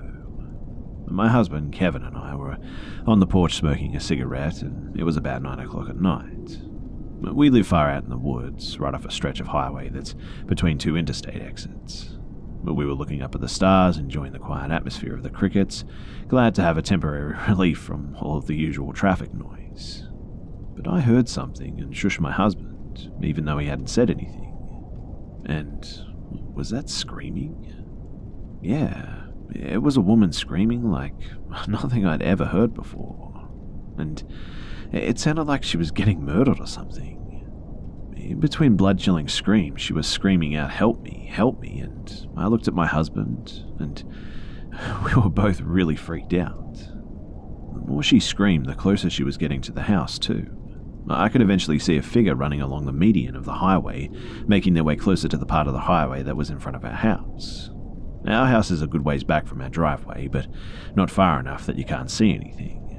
And if we could see her, then that meant that she could see us. We have no yard security lights, stupid I know, so we were in complete darkness at this point. But we could still see the highway perfectly fine due to the house across from us, who still had their Christmas lights up though. I threw my cigarette in my yard and back up to stand in my doorway of the house, pulling out my phone to call 911. She's still in the median of the road screaming too. If anyone else in the surrounding houses heard her, they pretended like they didn't know. Kevin runs past me inside to get his jacket and his shoes on. I tell him not to go out there, obviously, but he ignores me and gets dressed anyway. As soon as he's out of sight, I, I see a red car barrel up the road and pull over next to where the lady was at. With her in the median, there was still a stretch of highway between them, though. There was a man driving, I couldn't see what he looked like, though. I only heard his voice. He was yelling that he was going to kill her and calling her every name under the sun. It looked like he was throwing stuff at her out the window. Maybe clothes, I think. As soon as she sees him pull over, she starts running straight towards our yard. By that time, I was already on the phone with the police officers, but as I said, I lived out in the woods, pretty far out of town, I'll add, so it would take them a bit to get here. I yell for my husband, and I tell my nine year old son to go in our room where the baby and close the door. He can hear the whole thing and was actually pretty frightened. My husband runs out onto the porch and into the yard towards her.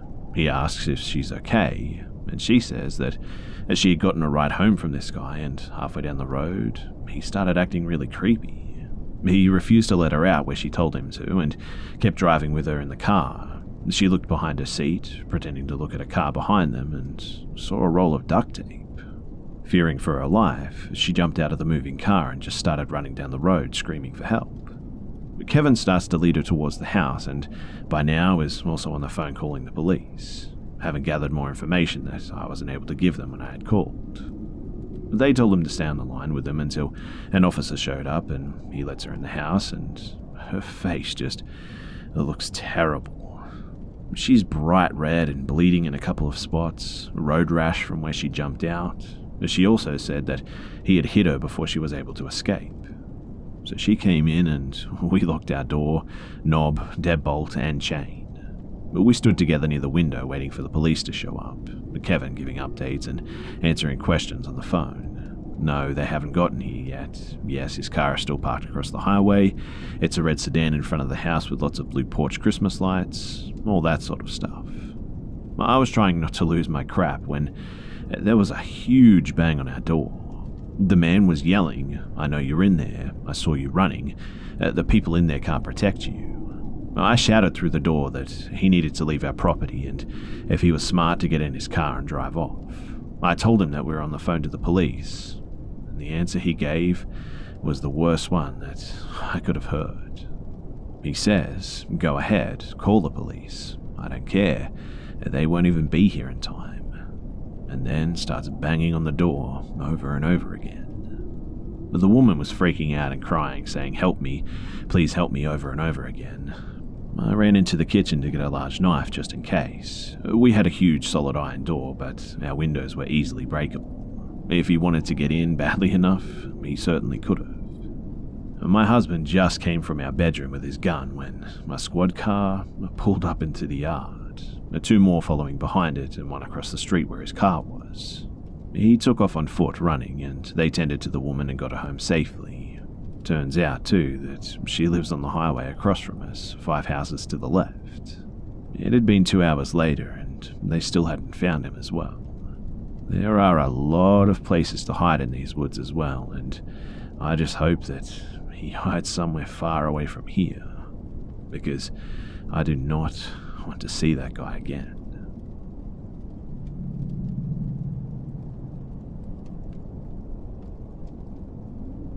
So, my name is Eric, and I live in a rural area of central New Mexico. I'm 18 years old, and I've lived there for nearly all my life. It's a pretty quiet, tight knit place where everyone seems to know everyone, and this story took place about two years ago when I was a sophomore in high school. So, me and one of my school buddies, Seth, we were going through somewhat of a, a mild obsession with urban exploration videos on YouTube. I had recently passed my driver's test, and Seth and I were talking about finding somewhere nearby where we could go urban exploring, or I guess in our case, rural exploring. One day when I was driving Seth home from school, he told me about an abandoned radio tower on top of a mountain about 25 miles east of town that he thought would be really cool to explore. He showed me some pictures of the place, and it did look pretty cool. It was located about five miles up what looked like to be a, a narrow dirt road that branched off the main highway in and out of town. It was cool because we had always driven past that road too, but had never really thought about where it led. We both agreed then that we had to go and check it out, and I told him that that Friday night would be the best time to go. I don't know why we thought it would be better to go at night, but for some stupid reason we, we just did. My parents were really chill about letting me drive late at night, and so were his. We usually went out on Friday nights to meet up with friends from school anyway, so our parents didn't hesitate to let us go. Obviously, we didn't tell them about exploring the cell tower, though, as they would never have let us go to some abandoned place in the middle of nowhere late at night. It was a stupid decision, I know, but uh, we didn't expect to be very long and certainly didn't expect any trouble. We left at about 8 pm, and by the time that we got to the tower, the sun had set and it was almost completely dark. The road to the top was surrounded by forest on both sides, Soon after turning onto the dirt road, there was a cattle gate that we had to get out and open. I didn't realize just how big the tower was until we actually saw it up close. The tower itself was uh, probably about 100 feet tall with a white building about the size of an average house at its base. We parked my Chevy about 20 yards from the tower and walked towards the building with our flashlights out. As we expected, the building's doors were locked, but we were able to crawl through a loosely boarded up window. The first thing we noticed about the place was just the unsettling musty smell. This place seemed to have been unused for quite some time at this point, as uh, there was almost nothing in there besides a few tables and chairs. The walls were completely bare except for a few spots of graffiti, and it was completely silent except for the creaking of the floorboards. Then, suddenly, we both heard what sounded like the hum of an engine coming up the road. Seth and I ran to the front of the building and peered out a hole in one of the boarded up windows, and to our horror, there was a set of headlights coming up the road. We looked at each other and asked who the hell could possibly be up here with us at 9 o'clock at night. We watched as uh, an old Ford pickup pulled up right next to my car and what looked like two middle aged men get out. We couldn't see their faces, but they were both wearing dark clothing and were clearly wearing hooded sweatshirts. They immediately took our flashlights and began looking into the passenger window of my car. One of the men seemed to point to something in my car, and the other man appeared to shake his head as if in agreement. After a couple more seconds, they shined their flashlights up at the house, and I could barely make out one of them saying, I bet they're still in there. At this point, Seth is freaking out, and I have to admit that I was too. And then the men began walking towards the building. So uh, we instinctively began looking for a hiding spot. Maybe this was the wrong move, but we didn't know what else to do. We found one of those small storage rooms underneath the stairs leading up to the second floor of the building. We closed the door and both crouched down in the darkness, all the while shaking in fear. Seth began to say something, but I quickly told him to be quiet. And there was nothing but silence for what seemed like a good two minutes, and I actually started to wonder if maybe the men had left. But my thinking was interrupted by the sound of one of the men kicking down the padlocked door. But the noise was so loud that I swear I nearly had a heart attack too, and Seth and I were both terrified when we heard the sound of the mostly rotten wooden door breaking in half before the loud crash of it falling onto the wooden floorboards. Light filled the underside of the small door to the room that we were in as the men shined their flashlights around the building. It was strange, though, as they never said a word to each other or called out for us or anything. I was just waiting for the door to the storage room to swing open and for us to be goners, but to our surprise, the men just never opened it. After about five minutes of hearing the men rummaging around the bottom floor, We both heard the creaking of the stairs above our heads as the men began to walk up them. And as soon as the men reached the second floor, I whispered to Seth that this was our chance and that uh, we had to try and sneak out of this place and back to the car. He whispered in agreement, and I let him out of the small storage space as we attempted to find our way out of the door that the men had kicked in. But we were trying to be absolutely as silent as we could, but as we were walking out, I managed to trip over something that was on the floor. I fell down onto the ground with a loud thud that the men definitely heard. And at this point, Seth and I just started running out through the door and towards our car. All the while, we could hear the two men running back down the stairs behind us. We practically leapt into the car and didn't waste a second hauling us out of there and back down the road towards the highway, too. But we were so scared that I'd be willing to bet that we hit close to 60 miles per hour down this narrow dirt road. Luckily, it appeared that we got the jump on the two men as we thankfully never saw headlights behind us. I was fretting about the cattle gate that we had to pass on our way up the mountain, though, as I knew that I would have to get out and open it in order for us to get through. As we rounded a bend, Seth and I both saw the closed gate in front of us, and I quickly jumped out of the car and opened up the gate as fast as I possibly could. I could hear the sound of a vehicle further up the road, too, as I jumped back into the car and we just sped off, not bothering to close the gate behind us. In what seemed like only about five minutes, we reached the bottom of the dirt road and turned onto the main highway. We quickly made our way back to my house, all the while looking in our mirrors, hoping that the men hadn't followed us. Thankfully, it looked like we had lost them, and when we got back home to my house, both Seth and I breathed a collective sigh of relief and told each other that we would never go back there again. But we didn't tell any of our parents about what had happened, as we knew that they would be furious at us for doing something like we did without telling them. The next day, Seth and I sat down and talked about what had happened the night before, and we just didn't understand who the men were and why they were up at the radio tower so late at night. We also were creeped out by the fact that the men just somehow saw us going up the dirt road and followed us. I really don't know what those two men were doing, but I honestly don't think I want to either.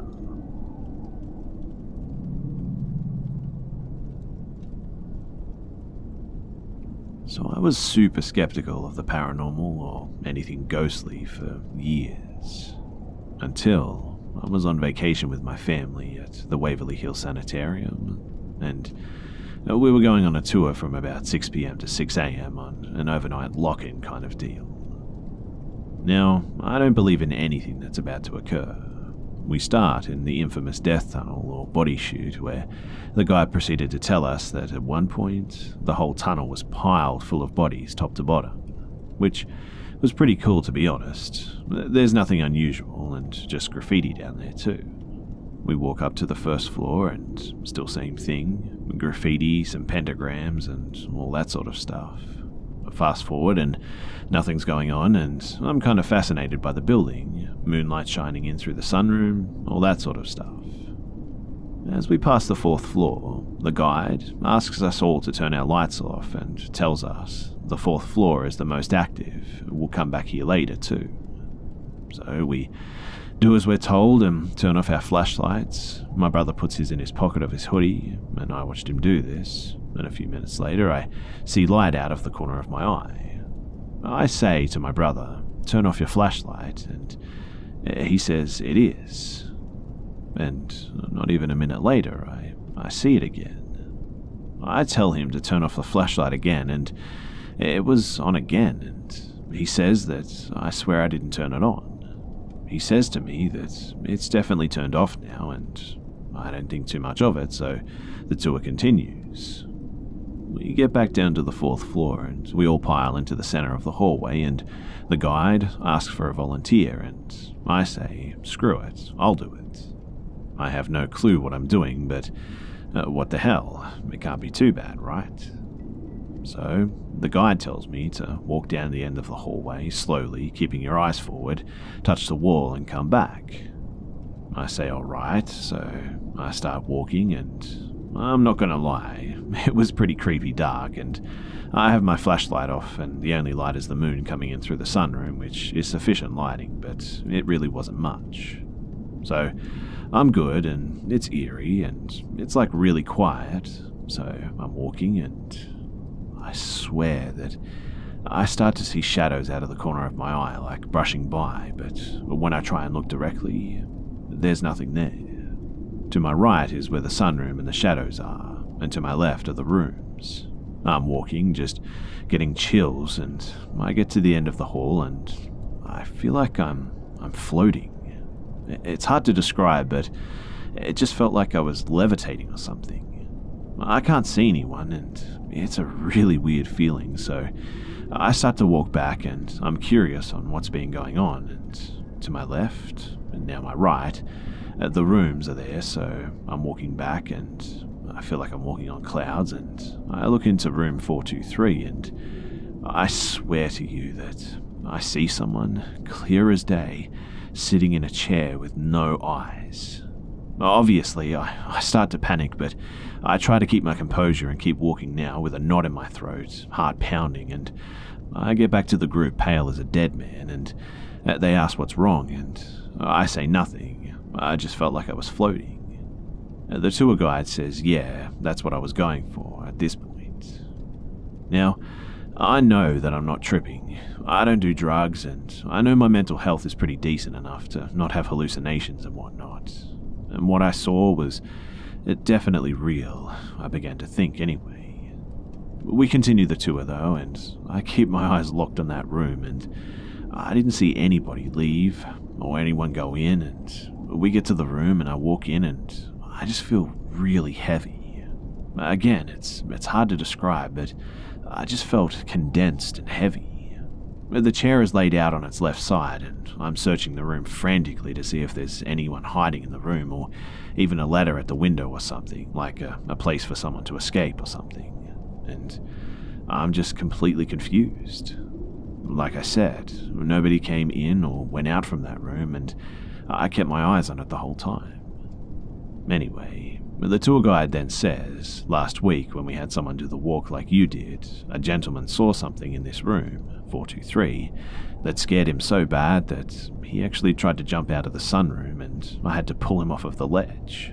He couldn't describe what he saw clearly and only said that it had no eyes and we actually had to call an ambulance because he was freaking out so bad.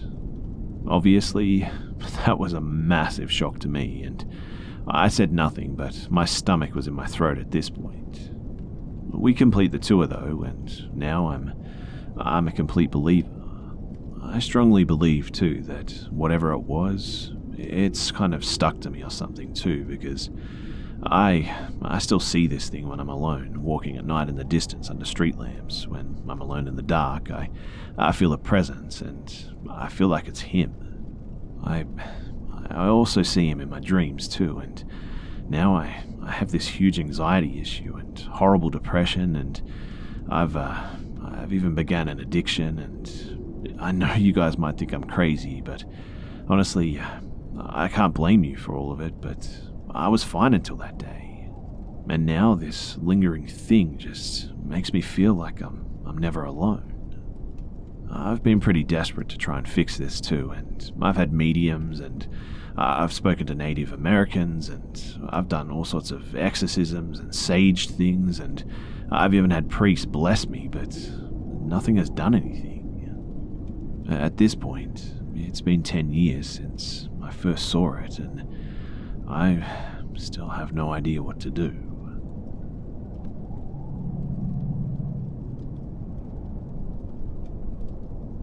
This happened a couple of years ago and it was during a visit to my grandmother in a small village in Mexico. But to give some context, my parents and I visited for about a week, and during that week, my mother's cousin also passed.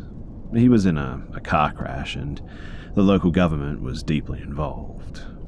Months later, it turns out that he was actually murdered by the local cartel there. That really is a whole story in itself, but I decided to mention it because it happened that same week that we were visiting as you can probably tell. Overall, that whole week was tragic and also extremely odd. So, some background. It happened about a night before we got the news about the passing. My uncle lives on the same plot of land my grandmother does, and he owns a farm of chickens and roosters. my grandma's sister, the mother of the guy who passed, is technically their next door neighbor. They own the plot of land right next to my grandmother's. My grandmother plot. My grandmother's plot of land is actually adjacent to the local elementary school there, so her house is in the middle of pretty much nowhere. However, she does have a good sized plot of land that's surrounded by concrete walls for protection. The streets around her land only really get foot traffic when school is in session. Given the climate at the time, too, any kind of foot traffic stops by sunset for sure. The village itself is pretty poor, and everyone is familiar with each other there. They have a few rich people, but pretty much no middle class.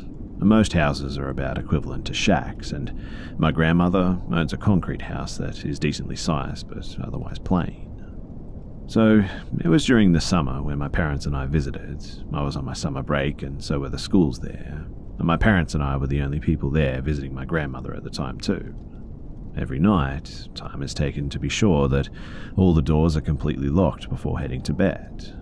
But there's three doors that lead to the outside, all are made of metal with also a mesh framed door to keep the bugs out. That night, I distinctly remember asking my mum to help me lock the front door too. It's a heavy metal door with a secured lock that I was having difficulties closing. We also checked to make sure that the other doors were secured and locked as well. I'm going to mention the layout of my grandmother's house briefly too, since it's somewhat important. So, the first room you enter, which is the door that I was having a hard time closing, is uh, basically a room with a bunch of beds. To the right is what is referred to as the middle room, which is just another bedroom. It connects the first room to my grandmother's room. You can actually look into the middle room and also see the first room when both doors are left open. These two doors are usually left open because they're heavy and scrape against the concrete floor really loudly. Now, before heading to bed, I plugged my phone into the middle room to charge, which is where my dad was going to sleep in. My mum and I were sleeping in the same room with my grandmother. My mum and I shared a bed that was right next to the door that leads into the middle room. Right before falling to sleep, I could see into the first room because the two doors were left open like always. I had no recollection of any nightmares or dreams, and I basically slept pitch black until I woke up at uh, an unknown time, just completely terrified. It was the weirdest thing, but my eyes just basically shot open, and I had a an indescribable sense of fear. The first thing I noticed was that the door next to me was completely shut. I didn't want to move even in the slightest, and I didn't really know what to think. I felt too scared to even close my eyes, and I just laid there completely still for an unknown amount of time. I came to the conclusion that I would rather wait for the sun to come up than to close my eyes again, and I was just really scared. Eventually, I, I heard the chickens starting to make noise, so I figured the sun was going to come up in the next few hours or so. But I noticed that the, the chickens were actually going kind of berserk almost as if they were scared of something. And this deepened my fear, but I still lay there too scared to move. At this point, I was wondering why it hadn't woken up my mother or my grandmother, who were both extremely light sleepers, mind you. I mean, I was the heavy sleeper in the family, yet the chickens weren't waking either of them up. Eventually, they all settled down, though, and there was no sign of any sunlight.